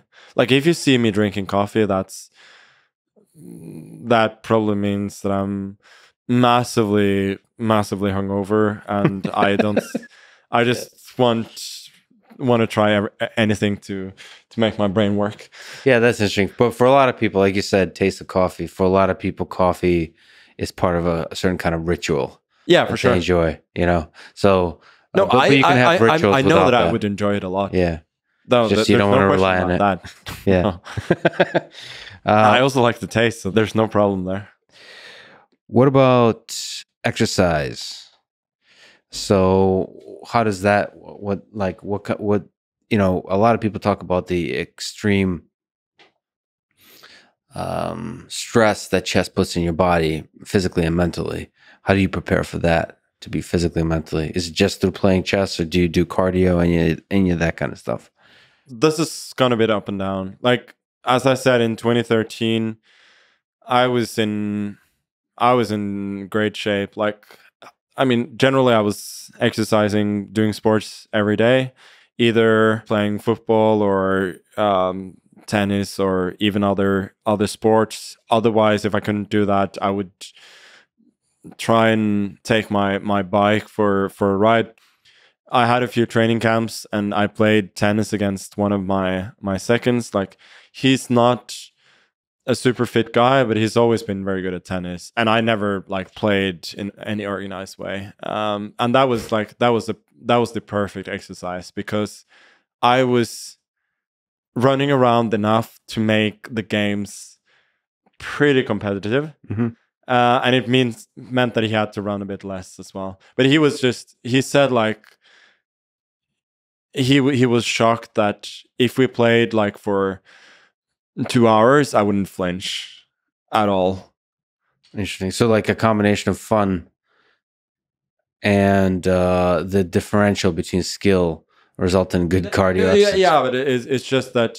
Um, so in those days, I was I was pretty uh, I was pretty fit in that sense. I've always liked doing sports, but at times, you know, I, I think in winter especially, like I never had like a schedule. So at times I'll let myself go a little bit.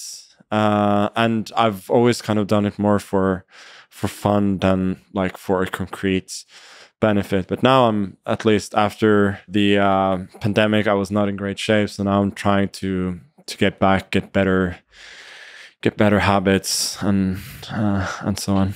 But um, I feel like I've always been the poster boy for making being fit a big thing in chess. And i always felt that it was it's not really deserved because i never liked doing weights much at all. Um, i run a bit at times but i never liked it too much.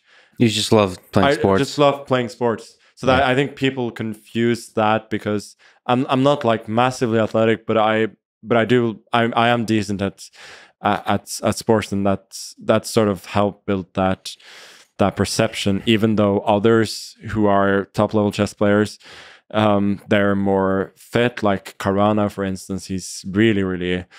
Um, his body is really really strong. It's just that he doesn't. He like goes to the gym and and yeah, like if he doesn't play sports, that's that's the that's the difference. and the thing about sports is also is just uh it's an escape. It, may, it helps you forget for for a brief moment about like the the obsessions, the pursuits of of the main thing, which is chess. Yeah, for yeah. for uh, for sure. And I think it's it also helps your main pursuit to feel that you're um, even if not mastering, but like doing well in something um, in something else. Like I found that if I just juggle a ball, that makes me feel better before a game. so a, a skilled like a activity, juggler, juggler football. Yeah, yeah, skill, skilled activity that you can improve on over time. It fo- it like flexes the same kind of muscle, but on the thing that you're much worse at. Yeah, uh, it it focuses you, relaxes you. That's really interesting. What uh, what's the perfect day in the life of Magnus Carlsen when he's training? So, like, what's a good training regimen in terms of you know daily kind of training that you have to put in across many uh, days, months, and years uh, to just keep yourself sharp in terms of chess? I would say when I'm at home, I do very, very little deliberate practice. I've never been that guy at all. Like I, I could never force myself to just sit down and work. So deliberate practice, just so maybe you can educate me. For some grandmasters, what would that look like? Just doing puzzles, kind of thing, or yeah, yeah, do, doing puzzles and opening analysis. That would be the main things. Studying games. Just studying games, yeah, a little bit, but I feel like that's something that I do, but it's not deliberate. It's like reading our article or reading a book. Got it. Like I love chess books. I'll read just anything, mm-hmm. and I'll find something interesting. So chess books that are uh, like on openings and stuff like that, or chess books that go over different games. Yeah, um, both books on. So there are three main categories. There are books on openings, and there are books on strategy, and there are books on chess history, and I find all of them very, very interesting. Like, what fraction of the day would you say you have a chessboard floating somewhere in your head? Meaning, like you're thinking about it probably be a better question to ask how many hours a day I don't have a chessboard yeah. floating in my head. I mean, it could be just floating there and nothing is happening, but like I, I, I, often do it parallel to some other activity though. And what what does that look like? Like, are you daydreaming like different? Is it actual positions you're just fucking around with, like fumbling with different pieces in your head? often I've looked at a at a random game on, on my phone, for instance, or in in a book, and then my brain just keeps going at the same position, analyzing it, and often it goes all the way, you know, to the end game. And those are actual games, or you conjure up like fake games? No, they were often based on real games, uh, and then I'm I'm thinking like, oh, but it wouldn't be more interesting if the pieces were a little bit different, and then often I play it out from there. So you don't have a like you don't sit behind a computer or a chessboard and you lay out the pieces and No. then you're I'm not at all a poster boy for deliberate practice. I could never, I could never work that way. My first coach, he gave me some exercises do at home sometimes, but he realized at some point uh, that wasn't going to work yeah. because I wouldn't do it really uh, or enjoy it. So what he would do instead is that at the school where I had the trainings with him, there was this massive chess library. So he was just like, yeah, pick pick out books. You can have anything. You can have anything you want. Uh, just pick out books you like, and then you give back the next time. So that's that's what I did it? instead. Yeah, I just absolutely rated the and then my next tournament, I will try out one of the openings from that book if it was an opening book and so on. So I, Does it feel like a struggle, like challenging, like to to be thinking those positions, or is it fun and relaxing? no, it's completely fine. I don't. Like if it's a difficult position to figure out, you know, like to calculate. Then I go on to something else. okay. Like if I can't figure it out, then you know, then I go on. change it so that it's easier to figure out. There was a point in your life where Kasparov was interested in being your coach, or at least training with you. Why? Why did you choose not to go with him? That's a pretty bold move. Was there a good reason for this? No, um, the first like home exercise he gave me was to analyze. Like he picked out, I think, three, four of my worst losses, and he wanted me to to analyze them and give him my thoughts. And it wasn't that there were painful losses or anything that that was a problem. I just didn't really enjoy that. Also, I felt that this whole structured approach and everything Yeah, I, I just felt like from the start it was a was a hassle. So I loved the idea of being able to pick his brain, but everything else I just you know couldn't see myself couldn't see myself enjoying and at the end of the day I did then and always have played for fun. That's always been like the Well, main reason. So it's great that you had the confidence to sort of basically turned down the approach of one of the greatest chess players of all time at that time, probably the greatest chess player of all time. I, Like- I don't think I thought of it that way. I just thought this is not for me. I want to try another way. I don't think I was particularly thinking that this is my one opportunity or anything. It was just, yeah, I don't enjoy this. Let's try something else. When you were 13, you faced Kasparov, uh, and he wasn't able to beat you. Can you go through that match? What did that feel like? How important was that? Was that how epic was that? We played three games. Uh, I lost two and I drew one. Right, th- but one draw. no, the one yes. draw. Um, And but did, didn't you say that you kind of had a better position in that? Yeah, I remember that day very well. There was a blitz game. This was a rapid tournament. And there was a blitz tournament the day before, which determined the the pairings for the rapid. and Um, for people who don't know, super short games are called bullet. Kind of short games are called blitz. Semi short games are called rapid. Yeah. and classic chess, I guess, is like Yeah. very super long. yeah. Uh, yeah, basically, bullet is never played over the board. So, in terms of over the board chess, blitz is the shortest.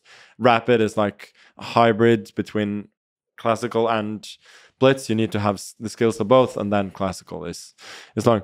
The blitz tournament, which didn't go so well. Uh, like I got a couple of wins, but I was beaten badly in a lot of games, including by Garry.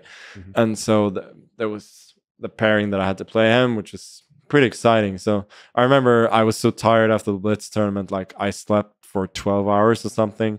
Then I woke up like, okay, I'll turn on my computer, I'll search ChessBase for Kasparov, and we'll go from there. So before that, I hadn't spent like a lot of time specifically studying his games.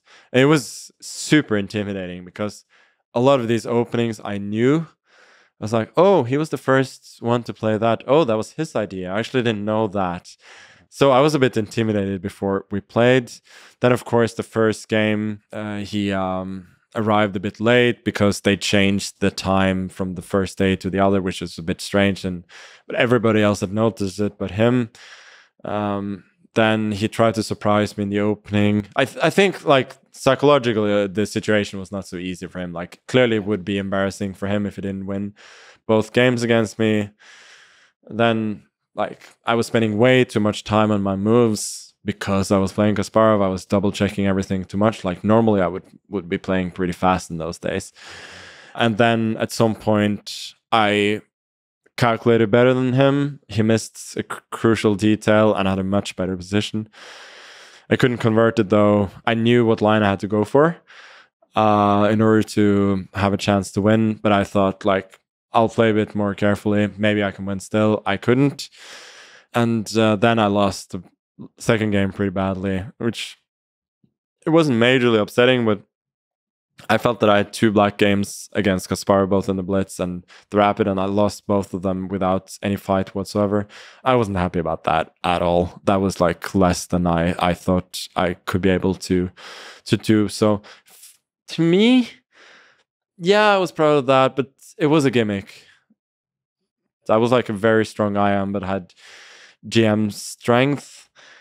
I was like, it can happen that a player of that strength makes a, a draw against Garry once in yeah, a while. but okay, for Uh, people, but, but I mean, I mean, I understand that I'm I'm 13, but like, still, I felt a bit more gimmicky than anything. I mean, I guess it's it's a good thing that made me noticed. Uh, but apart from that, Yeah. it wasn't. Yeah, And for people who don't know, IM as international master and uh, GM as grandmaster, and you were just on the, I guess, on the verge of becoming a, Yeah. a young, youngest grandmaster ever. I was the second youngest ever. Yeah. I think I'm like the seventh youngest now. I mean, these kids these days. Are, Kids these days, Yeah, yeah, no, but. I uh, but I was the youngest grandmaster at the, at the time. Uh, the time, in, right. in the world. Yeah. yeah. So there is a, you know, you say it's gimmicky, but there's a romantic notion. Is the, especially as things have turned out, right? Like, No, for sure. and have you talked to Garry at, since then about that? No, not really. I I, don't, I think he's embarrassed about. He's still bitter, you think? no, I don't think he's he's bitter, but I, I think the game in itself was was a bit embarrassing for him. Uh, so Like, even he can't see past like is no, no, no, no. I think he's completely fine with that. I think like in retrospect, it's a good story. He appreciates he appreciates that. I don't think that's the problem, but it never made sense for me to broach the subject with him. yeah i, I just I, it's funny just having interacted with Garry now having talked to you there is a, a little thing you still hate losing no matter how beautiful like that moment is because it's like it, in, in a way it's a passing of the baton from like one great champion to another Yeah, right but like you, you still just don't like the fact that you didn't play a good game from a Garry, Garry's perspective like he still is just annoyed probably that yeah. he could have played better And we did so we did work together in 2009 quite a lot, and that corporation ended um, early 2010. But we did play a lot of training games in 2009, which was interesting because he was still very very strong, and at that time it was fairly equal. Like he was outplaying me quite a bit, but I was I was fighting well, so it was it was pretty um pretty even then. Um, so I, I mean, I appreciate those games a lot more than some random game from when I was 13. And I maybe I just don't know what I'm talking about, but I've always found it, at least based on that game, you couldn't tell that I was going to take his. uh, Yes. that I was going to take his spot. Like I made a horrible blunder and lost to an Uzbek kid in the, the World Rapid Championship in in 2018. Mhm. And I mean, granted, he was part of the team that now won gold in the Chess Olympiad, but he wasn't a crucial part. He barely played any games. Like, it wasn't like I would think that he would become world champion because he beat me. I'm always skeptical of Yeah. those who said that they knew that I was going to be world champion after uh, after that game or at all at that time. I mean, it was easy to see that I would become a very very strong player. Uh, everybody could see that, but to be the best in the world or one of the best ever, It's true. That's It- it- hard to it's, say. It's it is hard to say, but I do remember seeing Messi when he was 16 and 17. Uh, But hasn't that happened with other players though? Yeah, but I I pers- I just had a personal experience. He did look different than there's like magic there. you, maybe you can't tell he would be uh one of the greatest ever, but there's there's still magic. But you're right. Most of the time, we try to project. We see a young kid being an older person, and you start to think, okay, this could be the next great person. Then we forget when they don't become that. Yeah, exactly. That's yeah. I think what happens. but when it uh, does, uh, maybe, become... maybe, uh, or maybe some people are just so good at seeing these patterns that they can actually see. Aren't you supposed to do that kind of thing with fantasy football? Like see the long shot and bet on them, and then they turn out to be good. That's, no, that's you you point. make a lot of a lot of long shot bets, and then some of them come good. and then people call you a genius for making yeah. the bet. Well, let me ask you the goat question again from fantasy perspective. Can you make the case for the greatest chess player of all time for each yourself, Magnus Carlsen, for Garry Kasparov, I don't know who else, Bobby Fischer, Mikhail Tal, anyone else? Um, for uh, Hikaru Nakamura. Just kidding. Yeah, uh, I, I think I'll, I can make a case for um, myself, for for Garry and for Fischer. So I'll start with Fischer. Uh, for him, it's very very simple. He was ahead of his time, but that's like intangible. You can say that about a lot of people. But he had a peak from 1970 to 72 when he was so much better than the others. He won 20 games in a row. Also, the way that he played was so powerful and with so few mistakes that he just had no opposition there. So he had just a peak that's been better than anybody. Like the gap between the gap between him and others have ha, was greater than it's ever been in history at any other time, uh, and that would be the argument for for him for Garry, he's played in a very competitive era and he's beaten several generations. He was the best. Well, he was the consensus best player, I would say, for almost 20 years, which yeah. nobody else has has done in at least in recent time. And so the uh, longevity. That the longevity for sure. Also at his peak, he um, was not quite the level of um, of Fischer in terms of the gap, but it was similar to, or I think even a little bit better than than mine. As for me, I'm of course unbeaten as as a world champion in in five tries. I've been world number one for eleven years straight in an even more competitive era than Garry, I have the highest chess rating of all time. I have the longest streak ever without losing a game. I think for me, the main argument would be about the era where there's the um, engines have leveled the um, playing field so much that it's it's harder to dominate. And still, I haven't always been a clear number one, but I've always I've been number one for eleven years, and for a lot of the time, the gap has been pretty big. So I think there are decent arguments for for all of them. Um, I've said before, and I haven't changed my mind, that Garry generally edges it because of the longevity in in the competitive era. But um, there are arguments. But people also talk about you in terms of the style of play. So it's not just about dominance or the height or the. It's like just the the creative genius of it. The yeah, but I'm not interested in that. uh, in terms of uh, greatest of all time, uh, I'm not interested in in in questions of style. So, so for Messi, you don't give credit for the style, uh, for the stylistic. I like, I like, um, no, I like watching it. I just, but you're not gonna give points for the. So Messi, no, I mean best the, ever the, because of the finishing. Yeah, it's it's the um the no, it's not because of the finishing. It's because of his overall impact on the game is higher than anybody else's. Okay. he right. contributes. he can just contributes more to winning than anybody else does. What's um? So you, you're somebody who was advocated for and has done quite a bit of study of classic games. What would you say is um? I mean, maybe the number one or maybe top three games of chess ever played.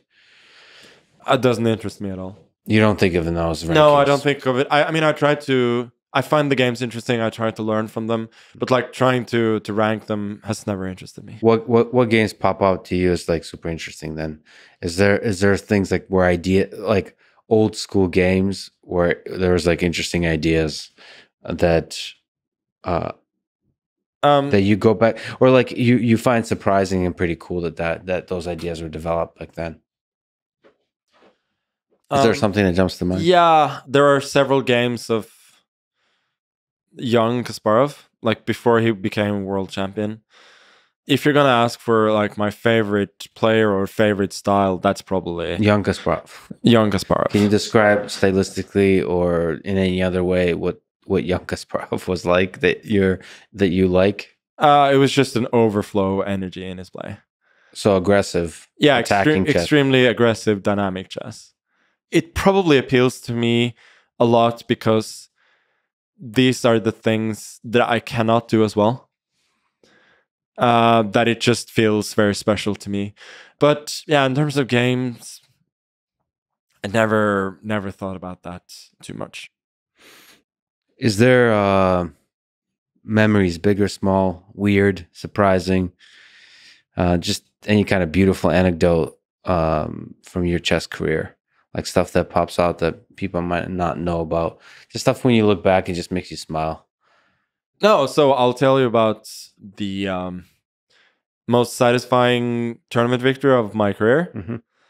Yeah. Um, so that was the Norwegian Championship under 11 in 2000. Before that tournament, I was super anxious because I started like kind of late at chess. I, I played my first tournament when I was eight and a half, and a lot of my competitors had already played for for a couple of years or even three, four years at that point. And the first time I so I played the under 11 championship in 99. I was like a little over the middle of the pack. I'd, I'd never played against any of them before, so I didn't know what to expect at all. And then over the next year, I was like edging a little bit closer. In each tournament, I felt like I was getting a little bit better. And when we had the championship, I knew that I was ready, that I was now at the same level of the best players. I was so anxious to to show it. I remember I was just the feeling of excitement and nervousness before the tournament was incredible. The tournament was weird because I started out, I gave away a draw to a weaker player whom I shouldn't have drawn to. And then I drew against the other guy who was clearly like the best or second best. And uh, and at that point I thought it was over because I thought he wouldn't he wouldn't give away points to others. And then the very next day he lost to somebody. So the the rest of the tournament it was just like I was always like playing my game and watching his. And we both won the rest of our games, but it meant that I was half a point ahead. Like the feeling when I realized that I was going to win, um, that was just so amazing. It was like the first time that I was the best at my age. And at that point, You're hooked. yeah, at that point, I realized, you know, this, I could actually be very good at this. So you you you kind of saw where did you think your ceiling would be? Did you see that? Do you th- did you see that one day you could be the number one? No, I didn't. person? I didn't think that was possible at all. Um, but When did you first I thought I could be the best in Norway the best in Norway? at that point. When did you be- first? because like I started relatively late, right. So I- yeah. and also like I knew that I studied a lot more than the others. I knew that I had a passion that they didn't have. They saw chess as something like it was you know it was a hobby. It was like an activity. It was like um it was like going to to football practice or any other sports like you go you practice like once or twice a week and then you play a tournament at the weekend. That's that's what you did. For me it wasn't like that. Like i would go with my books and my board every day after school. Uh and i wouldn't i would just constantly be trying to learn new things i had like two hours of internet time on the computer each week and i would always spend them on on chess like um yeah. I think before I was 13 or 14, I'd never opened a browser for any other reason than to play chess. Would you describe that as love or as obsession or something in between? It's everything. Yeah, everything. What, Uh, but it, it, it- so I mean, it wasn't hard for me to tell at that point that I had something that the other other kids didn't because I was never the the one to grasp something very very quickly. But once I started, I always got hooked, and then I never stopped learning. what would you say? You've talked about the middle game as a as a place where you can play pure chess. What do you think is beautiful to you about chess? Like the thing when you were 11. What is beautiful to me is when your opponent can predict every single one of your moves and they still lose. How does that happen? No, like it means that at some point early, your planning, your evaluation has been better. So that you play just very simply, very clearly. It looks like you did nothing special and your opponent lost without a chance. So you're how do you think about that by the way? Are you basically narrowing down this gigantic tree of options to where your opponent has less and less and less options to win, to escape, and then they're trapped? Yeah, That's it. essentially. Is there some aspect to the patterns themselves, to the positions, to the elegance of like the the dynamics of the game that you just find beautiful that that that doesn't that where you forget about the opponent general, I try and create harmony on the board. Like what I would usually find harmonious is that the pieces work together, that they protect each other, uh, and that there are no pieces that are suboptimally placed. Or uh, if they are suboptimally placed, they can be improved pretty easily. Like I hate when I have one piece that I know is badly placed and I cannot improve it. when, when yeah when you're thinking about the the harmony of the pieces when you're looking at the position you're evaluating it are you looking at at the whole board or is it like a bunch of groupings of pieces overlapping I would and like dancing together kind of thing I would say it's more of the latter that would be more uh, precise. That you look, I mean, I look mostly closer to the middle, but then I would focus on one. Like there are usually like one grouping of pieces on one side, and then some more closer to the the other side. So I would. Um, I would think of it a little bit that way. so and everything is kind of gravitating to the middle If it's going well, then yes. and in harmony. Yeah in in in harmony. Or like if you can control the middle you can more easily attack on both sides. That applies to pretty much any game. It's as simple as that. And like attacking on one side without control of the middle would feel very non-harmonious for for me. Like i i talked about the 10th game and in the world championship like that's the time i was the most nervous. And it was because it was a kind of attack that i hate where you just have to you abandon one side and you the uh, attack has to work. There was one side and part of the middle as well which i didn't control at all. And that that's like the opposite of harmony for me. What advice would you give to chess players of different levels how to improve in chess? Very beginner, complete beginner. I mean, at every level. Is there is there something you can? it's very hard, very hard for me to say because i mean the easiest way is like love chess be obsessed Well, that's a really important statement. but that doesn't work for everybody so i feel like it can feel like a grind. So you're saying if it, the less it can feel like a grind, the better. The better, yeah for sure at least for you.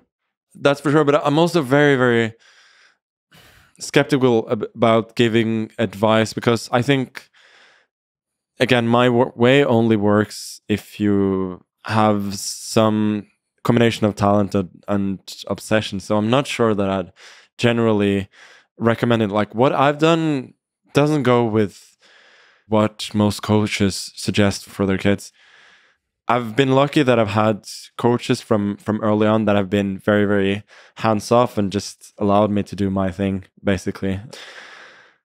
Well, there's a lot to be said about uh, cultivating the obsession, like really, Yeah. really letting that flourish to where you spend a lot of hours, like with the chessboard in your head, and it doesn't feel like a struggle. No. So like just letting me do my thing. Like if you give me a bunch of work, it will probably feel like a chore. And if you don't give me, I will spend all of that time on my own without thinking that it's it's work or without thought that I'm doing this to improve my chess.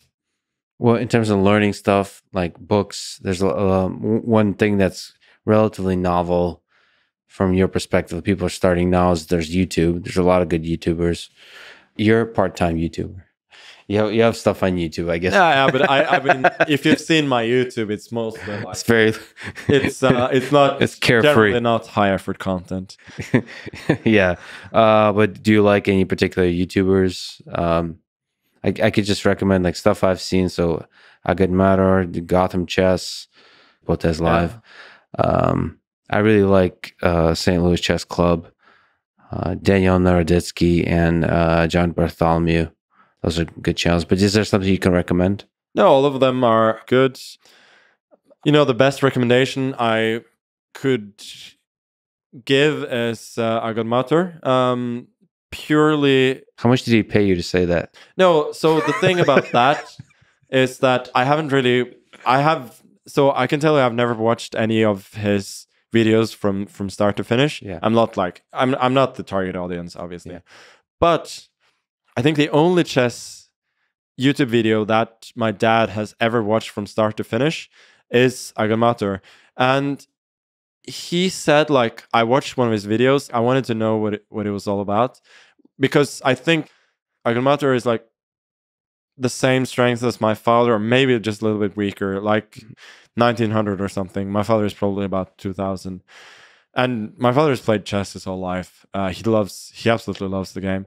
It was like, that's the only time he's actually sat through one of those videos. And he said, like, yeah, I get it. I enjoy it. So that's the best recommendation I, I, could, I could give. That's the only channel that my father actually enjoys. this is hilarious. I talked I talked to him before this to ask him if he has any questions for you, and uh, he said, "No, just just do your thing. You know what No, you're doing." he's he's so careful. He wouldn't uh, do that. He did mention jokingly about uh, Evans Gambit. I think is that a thing? Evans Gambit is some weird thing he made up. It might be an inside joke. I don't I don't know, but he asked me to. Well, anyway, I yeah, I didn't even get. Um, it's something yeah, he made uh, up. maybe I didn't even realize that he plays the Evans Gambit. Like he plays a lot of gambits that are. Wait, Evans Gambit is a thing. Yeah, yeah, that's the thing. Okay. Like that's an old opening from the 1800s. Uh, Captain Evans uh, apparently in- invented it. Why would he mention that particular one? Yeah, something hilarious about that one? I don't know. like I, I, I don't think I've ever faced the Evans Gambit in a in a game. I feel like both of you are trolling trolling me right now. But I mean, he's so he's played a lot of other gambits. maybe this is the one he wanted to to mention. So this maybe this is called the Evans Gambit as well. But I just know it as like the two two G four gambit. Maybe this is the one. Like this one he has this one he has played a bunch. Uh and he, and he he he he's been telling me a lot about his games in this line. It's like, oh, it's not so bad, and I'm like, yeah, but you're a pawn down. Yeah. Uh, but I can I can sort of see it. I can sort of um, I can sort of understand it. And he's like he's proud of the fact that nobody like told him to play this line or anything. He came Yeah. up with it Well- himself. and there's this uh, I'll tell you another story about my father. So there there's this line that I call that I call the Henrik Carlsen line. What's the Um, so at some point, you know, he never knew a lot of openings in, in chess, but I taught him, I taught him a couple of openings as black. Uh, Mhm. It's the, uh, it's the Sveshnikov Sicilian that I've played a lot myself. Also, um, during the um, the World Championship in 2018, I won a bunch of games in 2019 as well. So that's one opening, and I also taught him as black to play the Ragozin defense. Um, and then so the Ragozin defense goes like goes like this. um, it's characterized by um, by this bishop move. Um, and so uh, he would play those openings pretty pr- pretty exclusively and as black in the tournaments that he did play, and also the Sveshnikov Sicilian is like that's the only two of my sisters play have played a bunch of chess, chess tournaments as well, and that's the only opening they know as well. So my my family's repertoire is very narrow. So so this is the this is the system. Black goes here, and then very often white takes the pawn, and black takes the pawn.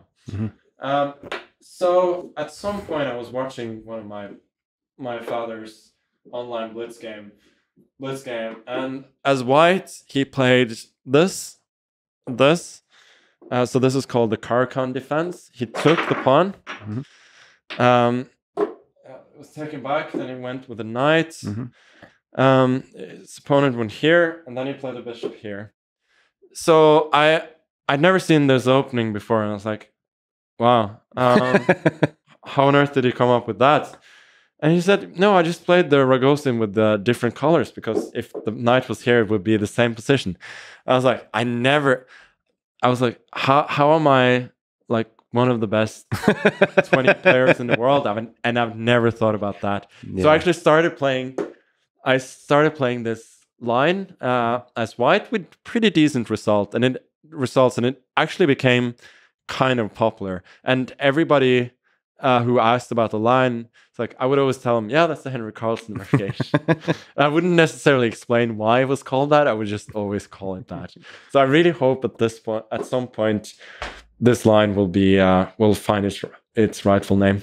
in the uh, yeah it fi- finds its ways into the history books Yeah. can you uh what what what did you learn about life from your dad what what role has your dad played in your life he's taught me a, a lot of things. Uh, but most of all, as long as you win a chess, then everything else is fine. um, I think my, especially my father, but my parents in general, they they always wanted me to get a good edu- education and um, find a job and so on. Um, even though my father loves chess and he wanted me to to play chess, I don't think he had any plans for me to be professional. Uh, I think things changed at some point. Like I was less and less interested in school, and for a long time we were kind of going back and forth, fighting about that. Um, especially my father, but also my mother a little bit.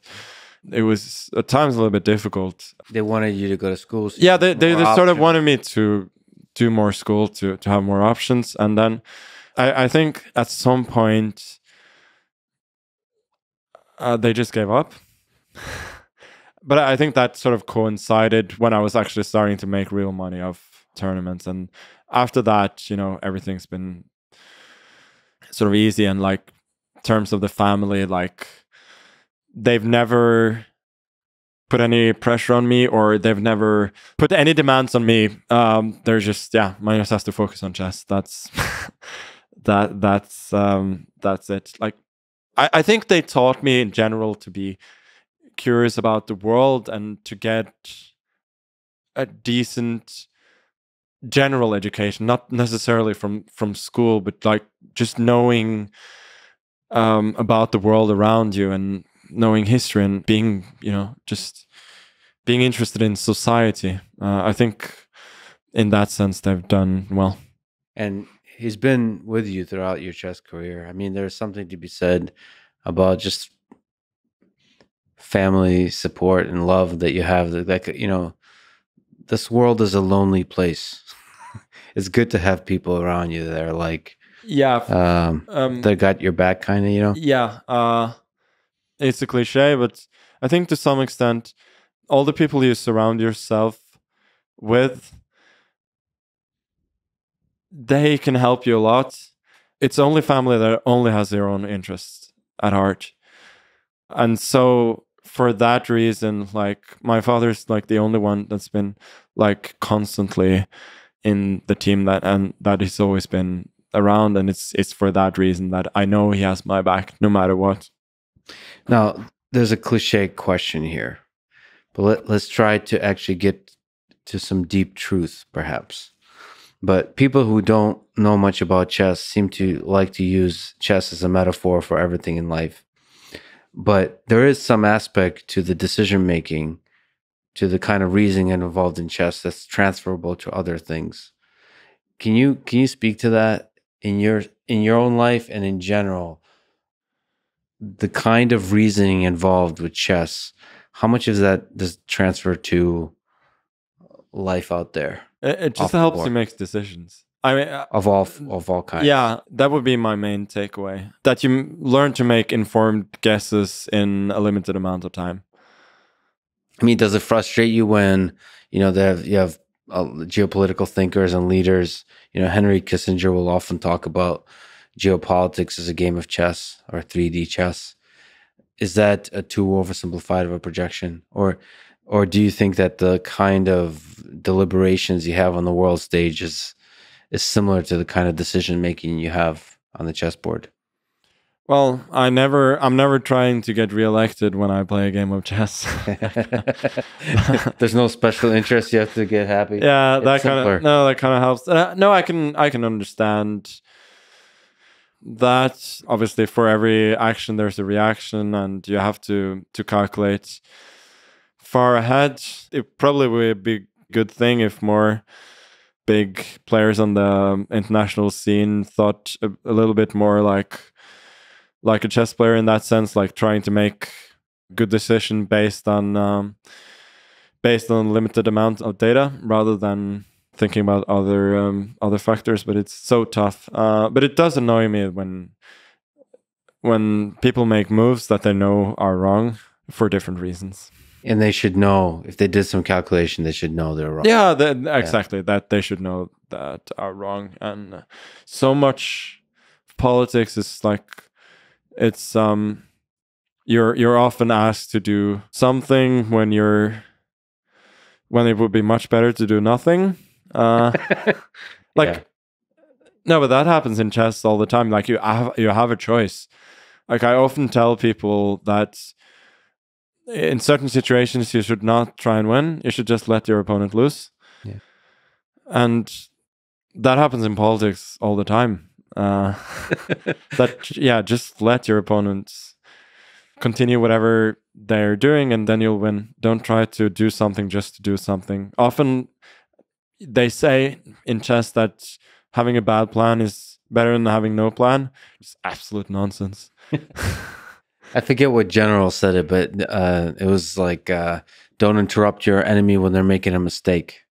Yeah, I think they're, they're also um, Petrosian, um, the the former world champion, said, um, "When your opponent wants to play Dutch defense, don't stop them." I mean, chess players will know that it's the same thing. uh, actually, this reminds me. Uh, is there something you found really impressive about Queen's Gambit, the TV show? You know, that's one of the things that really captivated the public imagination about chess.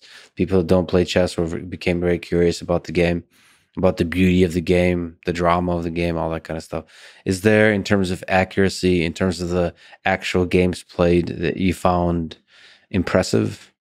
First of all, they did the chess. They did the chess well. They did it accurately, and also they found actual games and positions that I never never seen before, which really captivated me. Like I would I would not follow the um the story at times. I was just trying to wow, where the hell did I find that game? And trying to solve the positions. So Beth Harmon, the uh the the main character, were you impressed by the play she was doing in in the like was there a particular style that they developed consistently. Oh, but she was just at the end. She was just totally universal. Like at the start, she was probably a bit too too aggressive, but no, she was absolutely universal. Uni- wait, what's what word? Are you, what adjective are you using? universal in the sense that she could play in any any style. Oh, interesting, and and was dominant in that way. So wow, they, so there was a development in style too throughout the show. Yeah, for sure. It's really interesting they did they did that. Yeah, and uh, it actually happened with me a bit as well. Like I started out really aggressive, then I became probably too technical at some point, uh, taking a little bit too few risks and not playing dynamic enough. And then I started to get a little bit better at dynamics. So that now I'm, I would say, definitely the most universal player in terms of um, in terms of style. Are there any skills in chess that are transferable to poker? So as you're playing around with poker a little bit now, how fundamentally different of a game is it?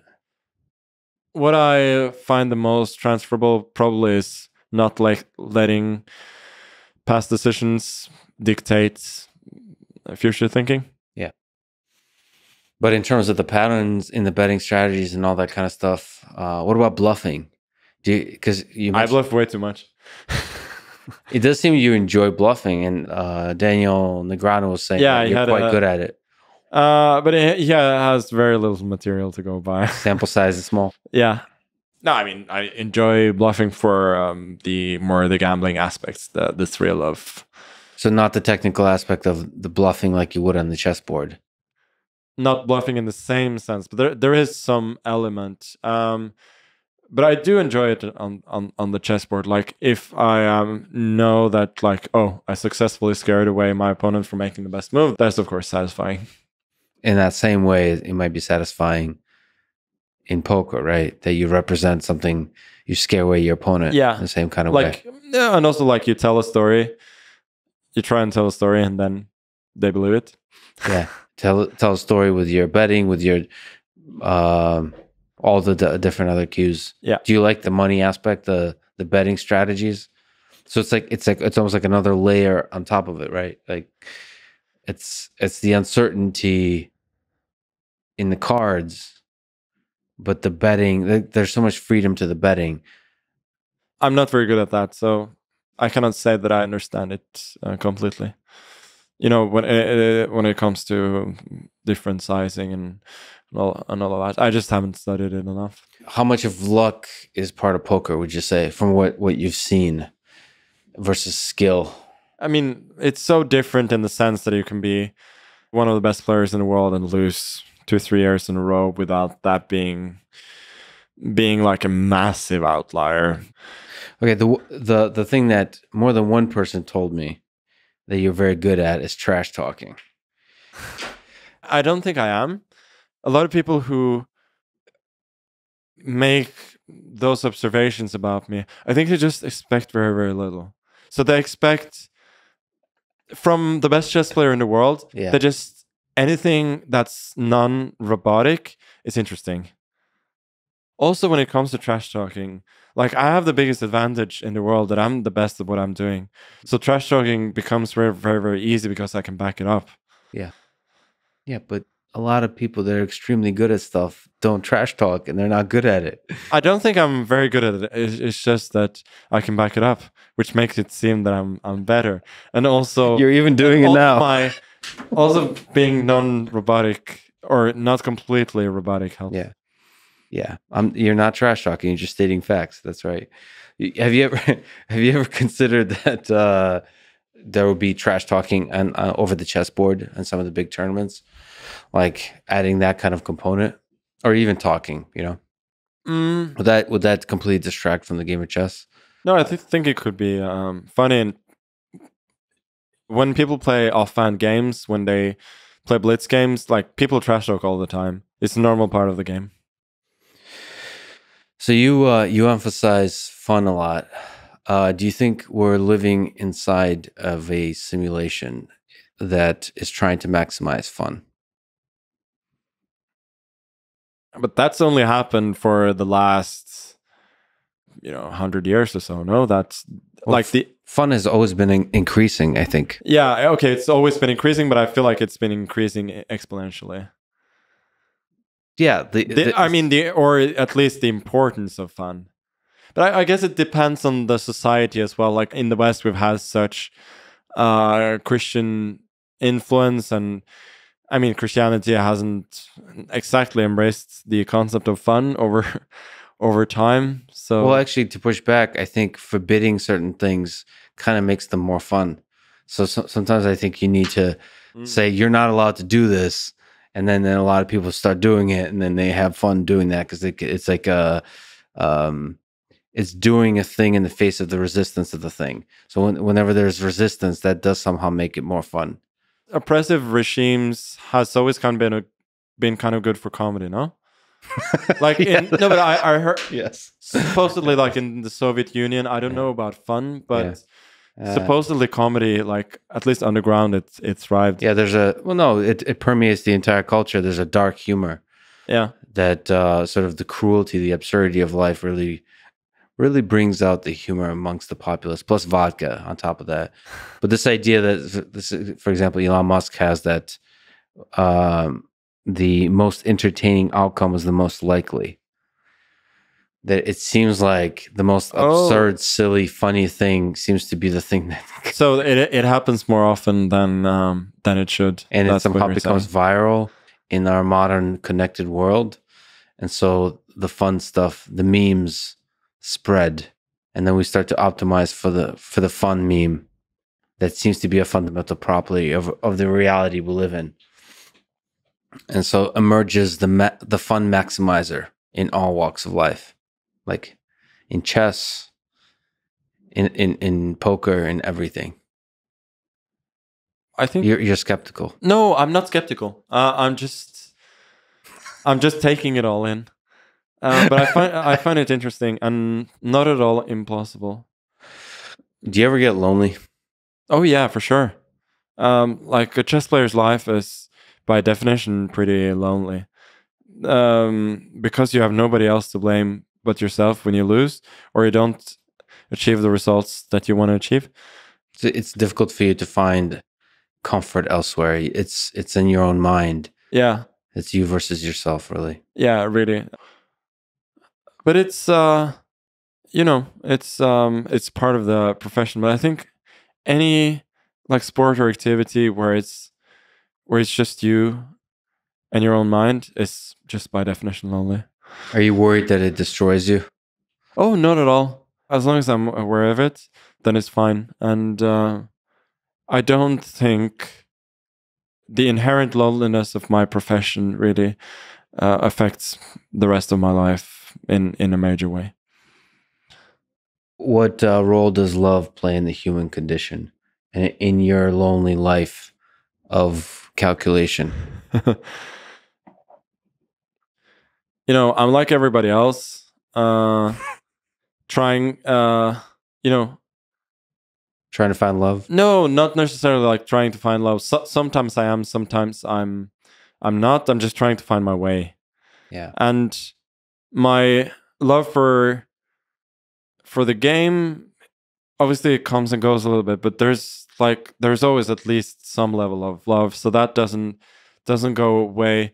But I think in other parts of life, I think it's just about doing things that make you happy, that give you joy, that that also makes you more receptive to to love in general. So that that has been my approach to to love now for quite a while that I'm just trying to live my best life and then uh, the love will um, will come uh, when it when it comes and in in terms of romantic love it has come and gone in my life it's not there now uh, but I'm not worried about that I'm more worried about you know not worried but more like trying to just be a good version of um, of myself. I cannot always be the best version of myself, but at least try to be good.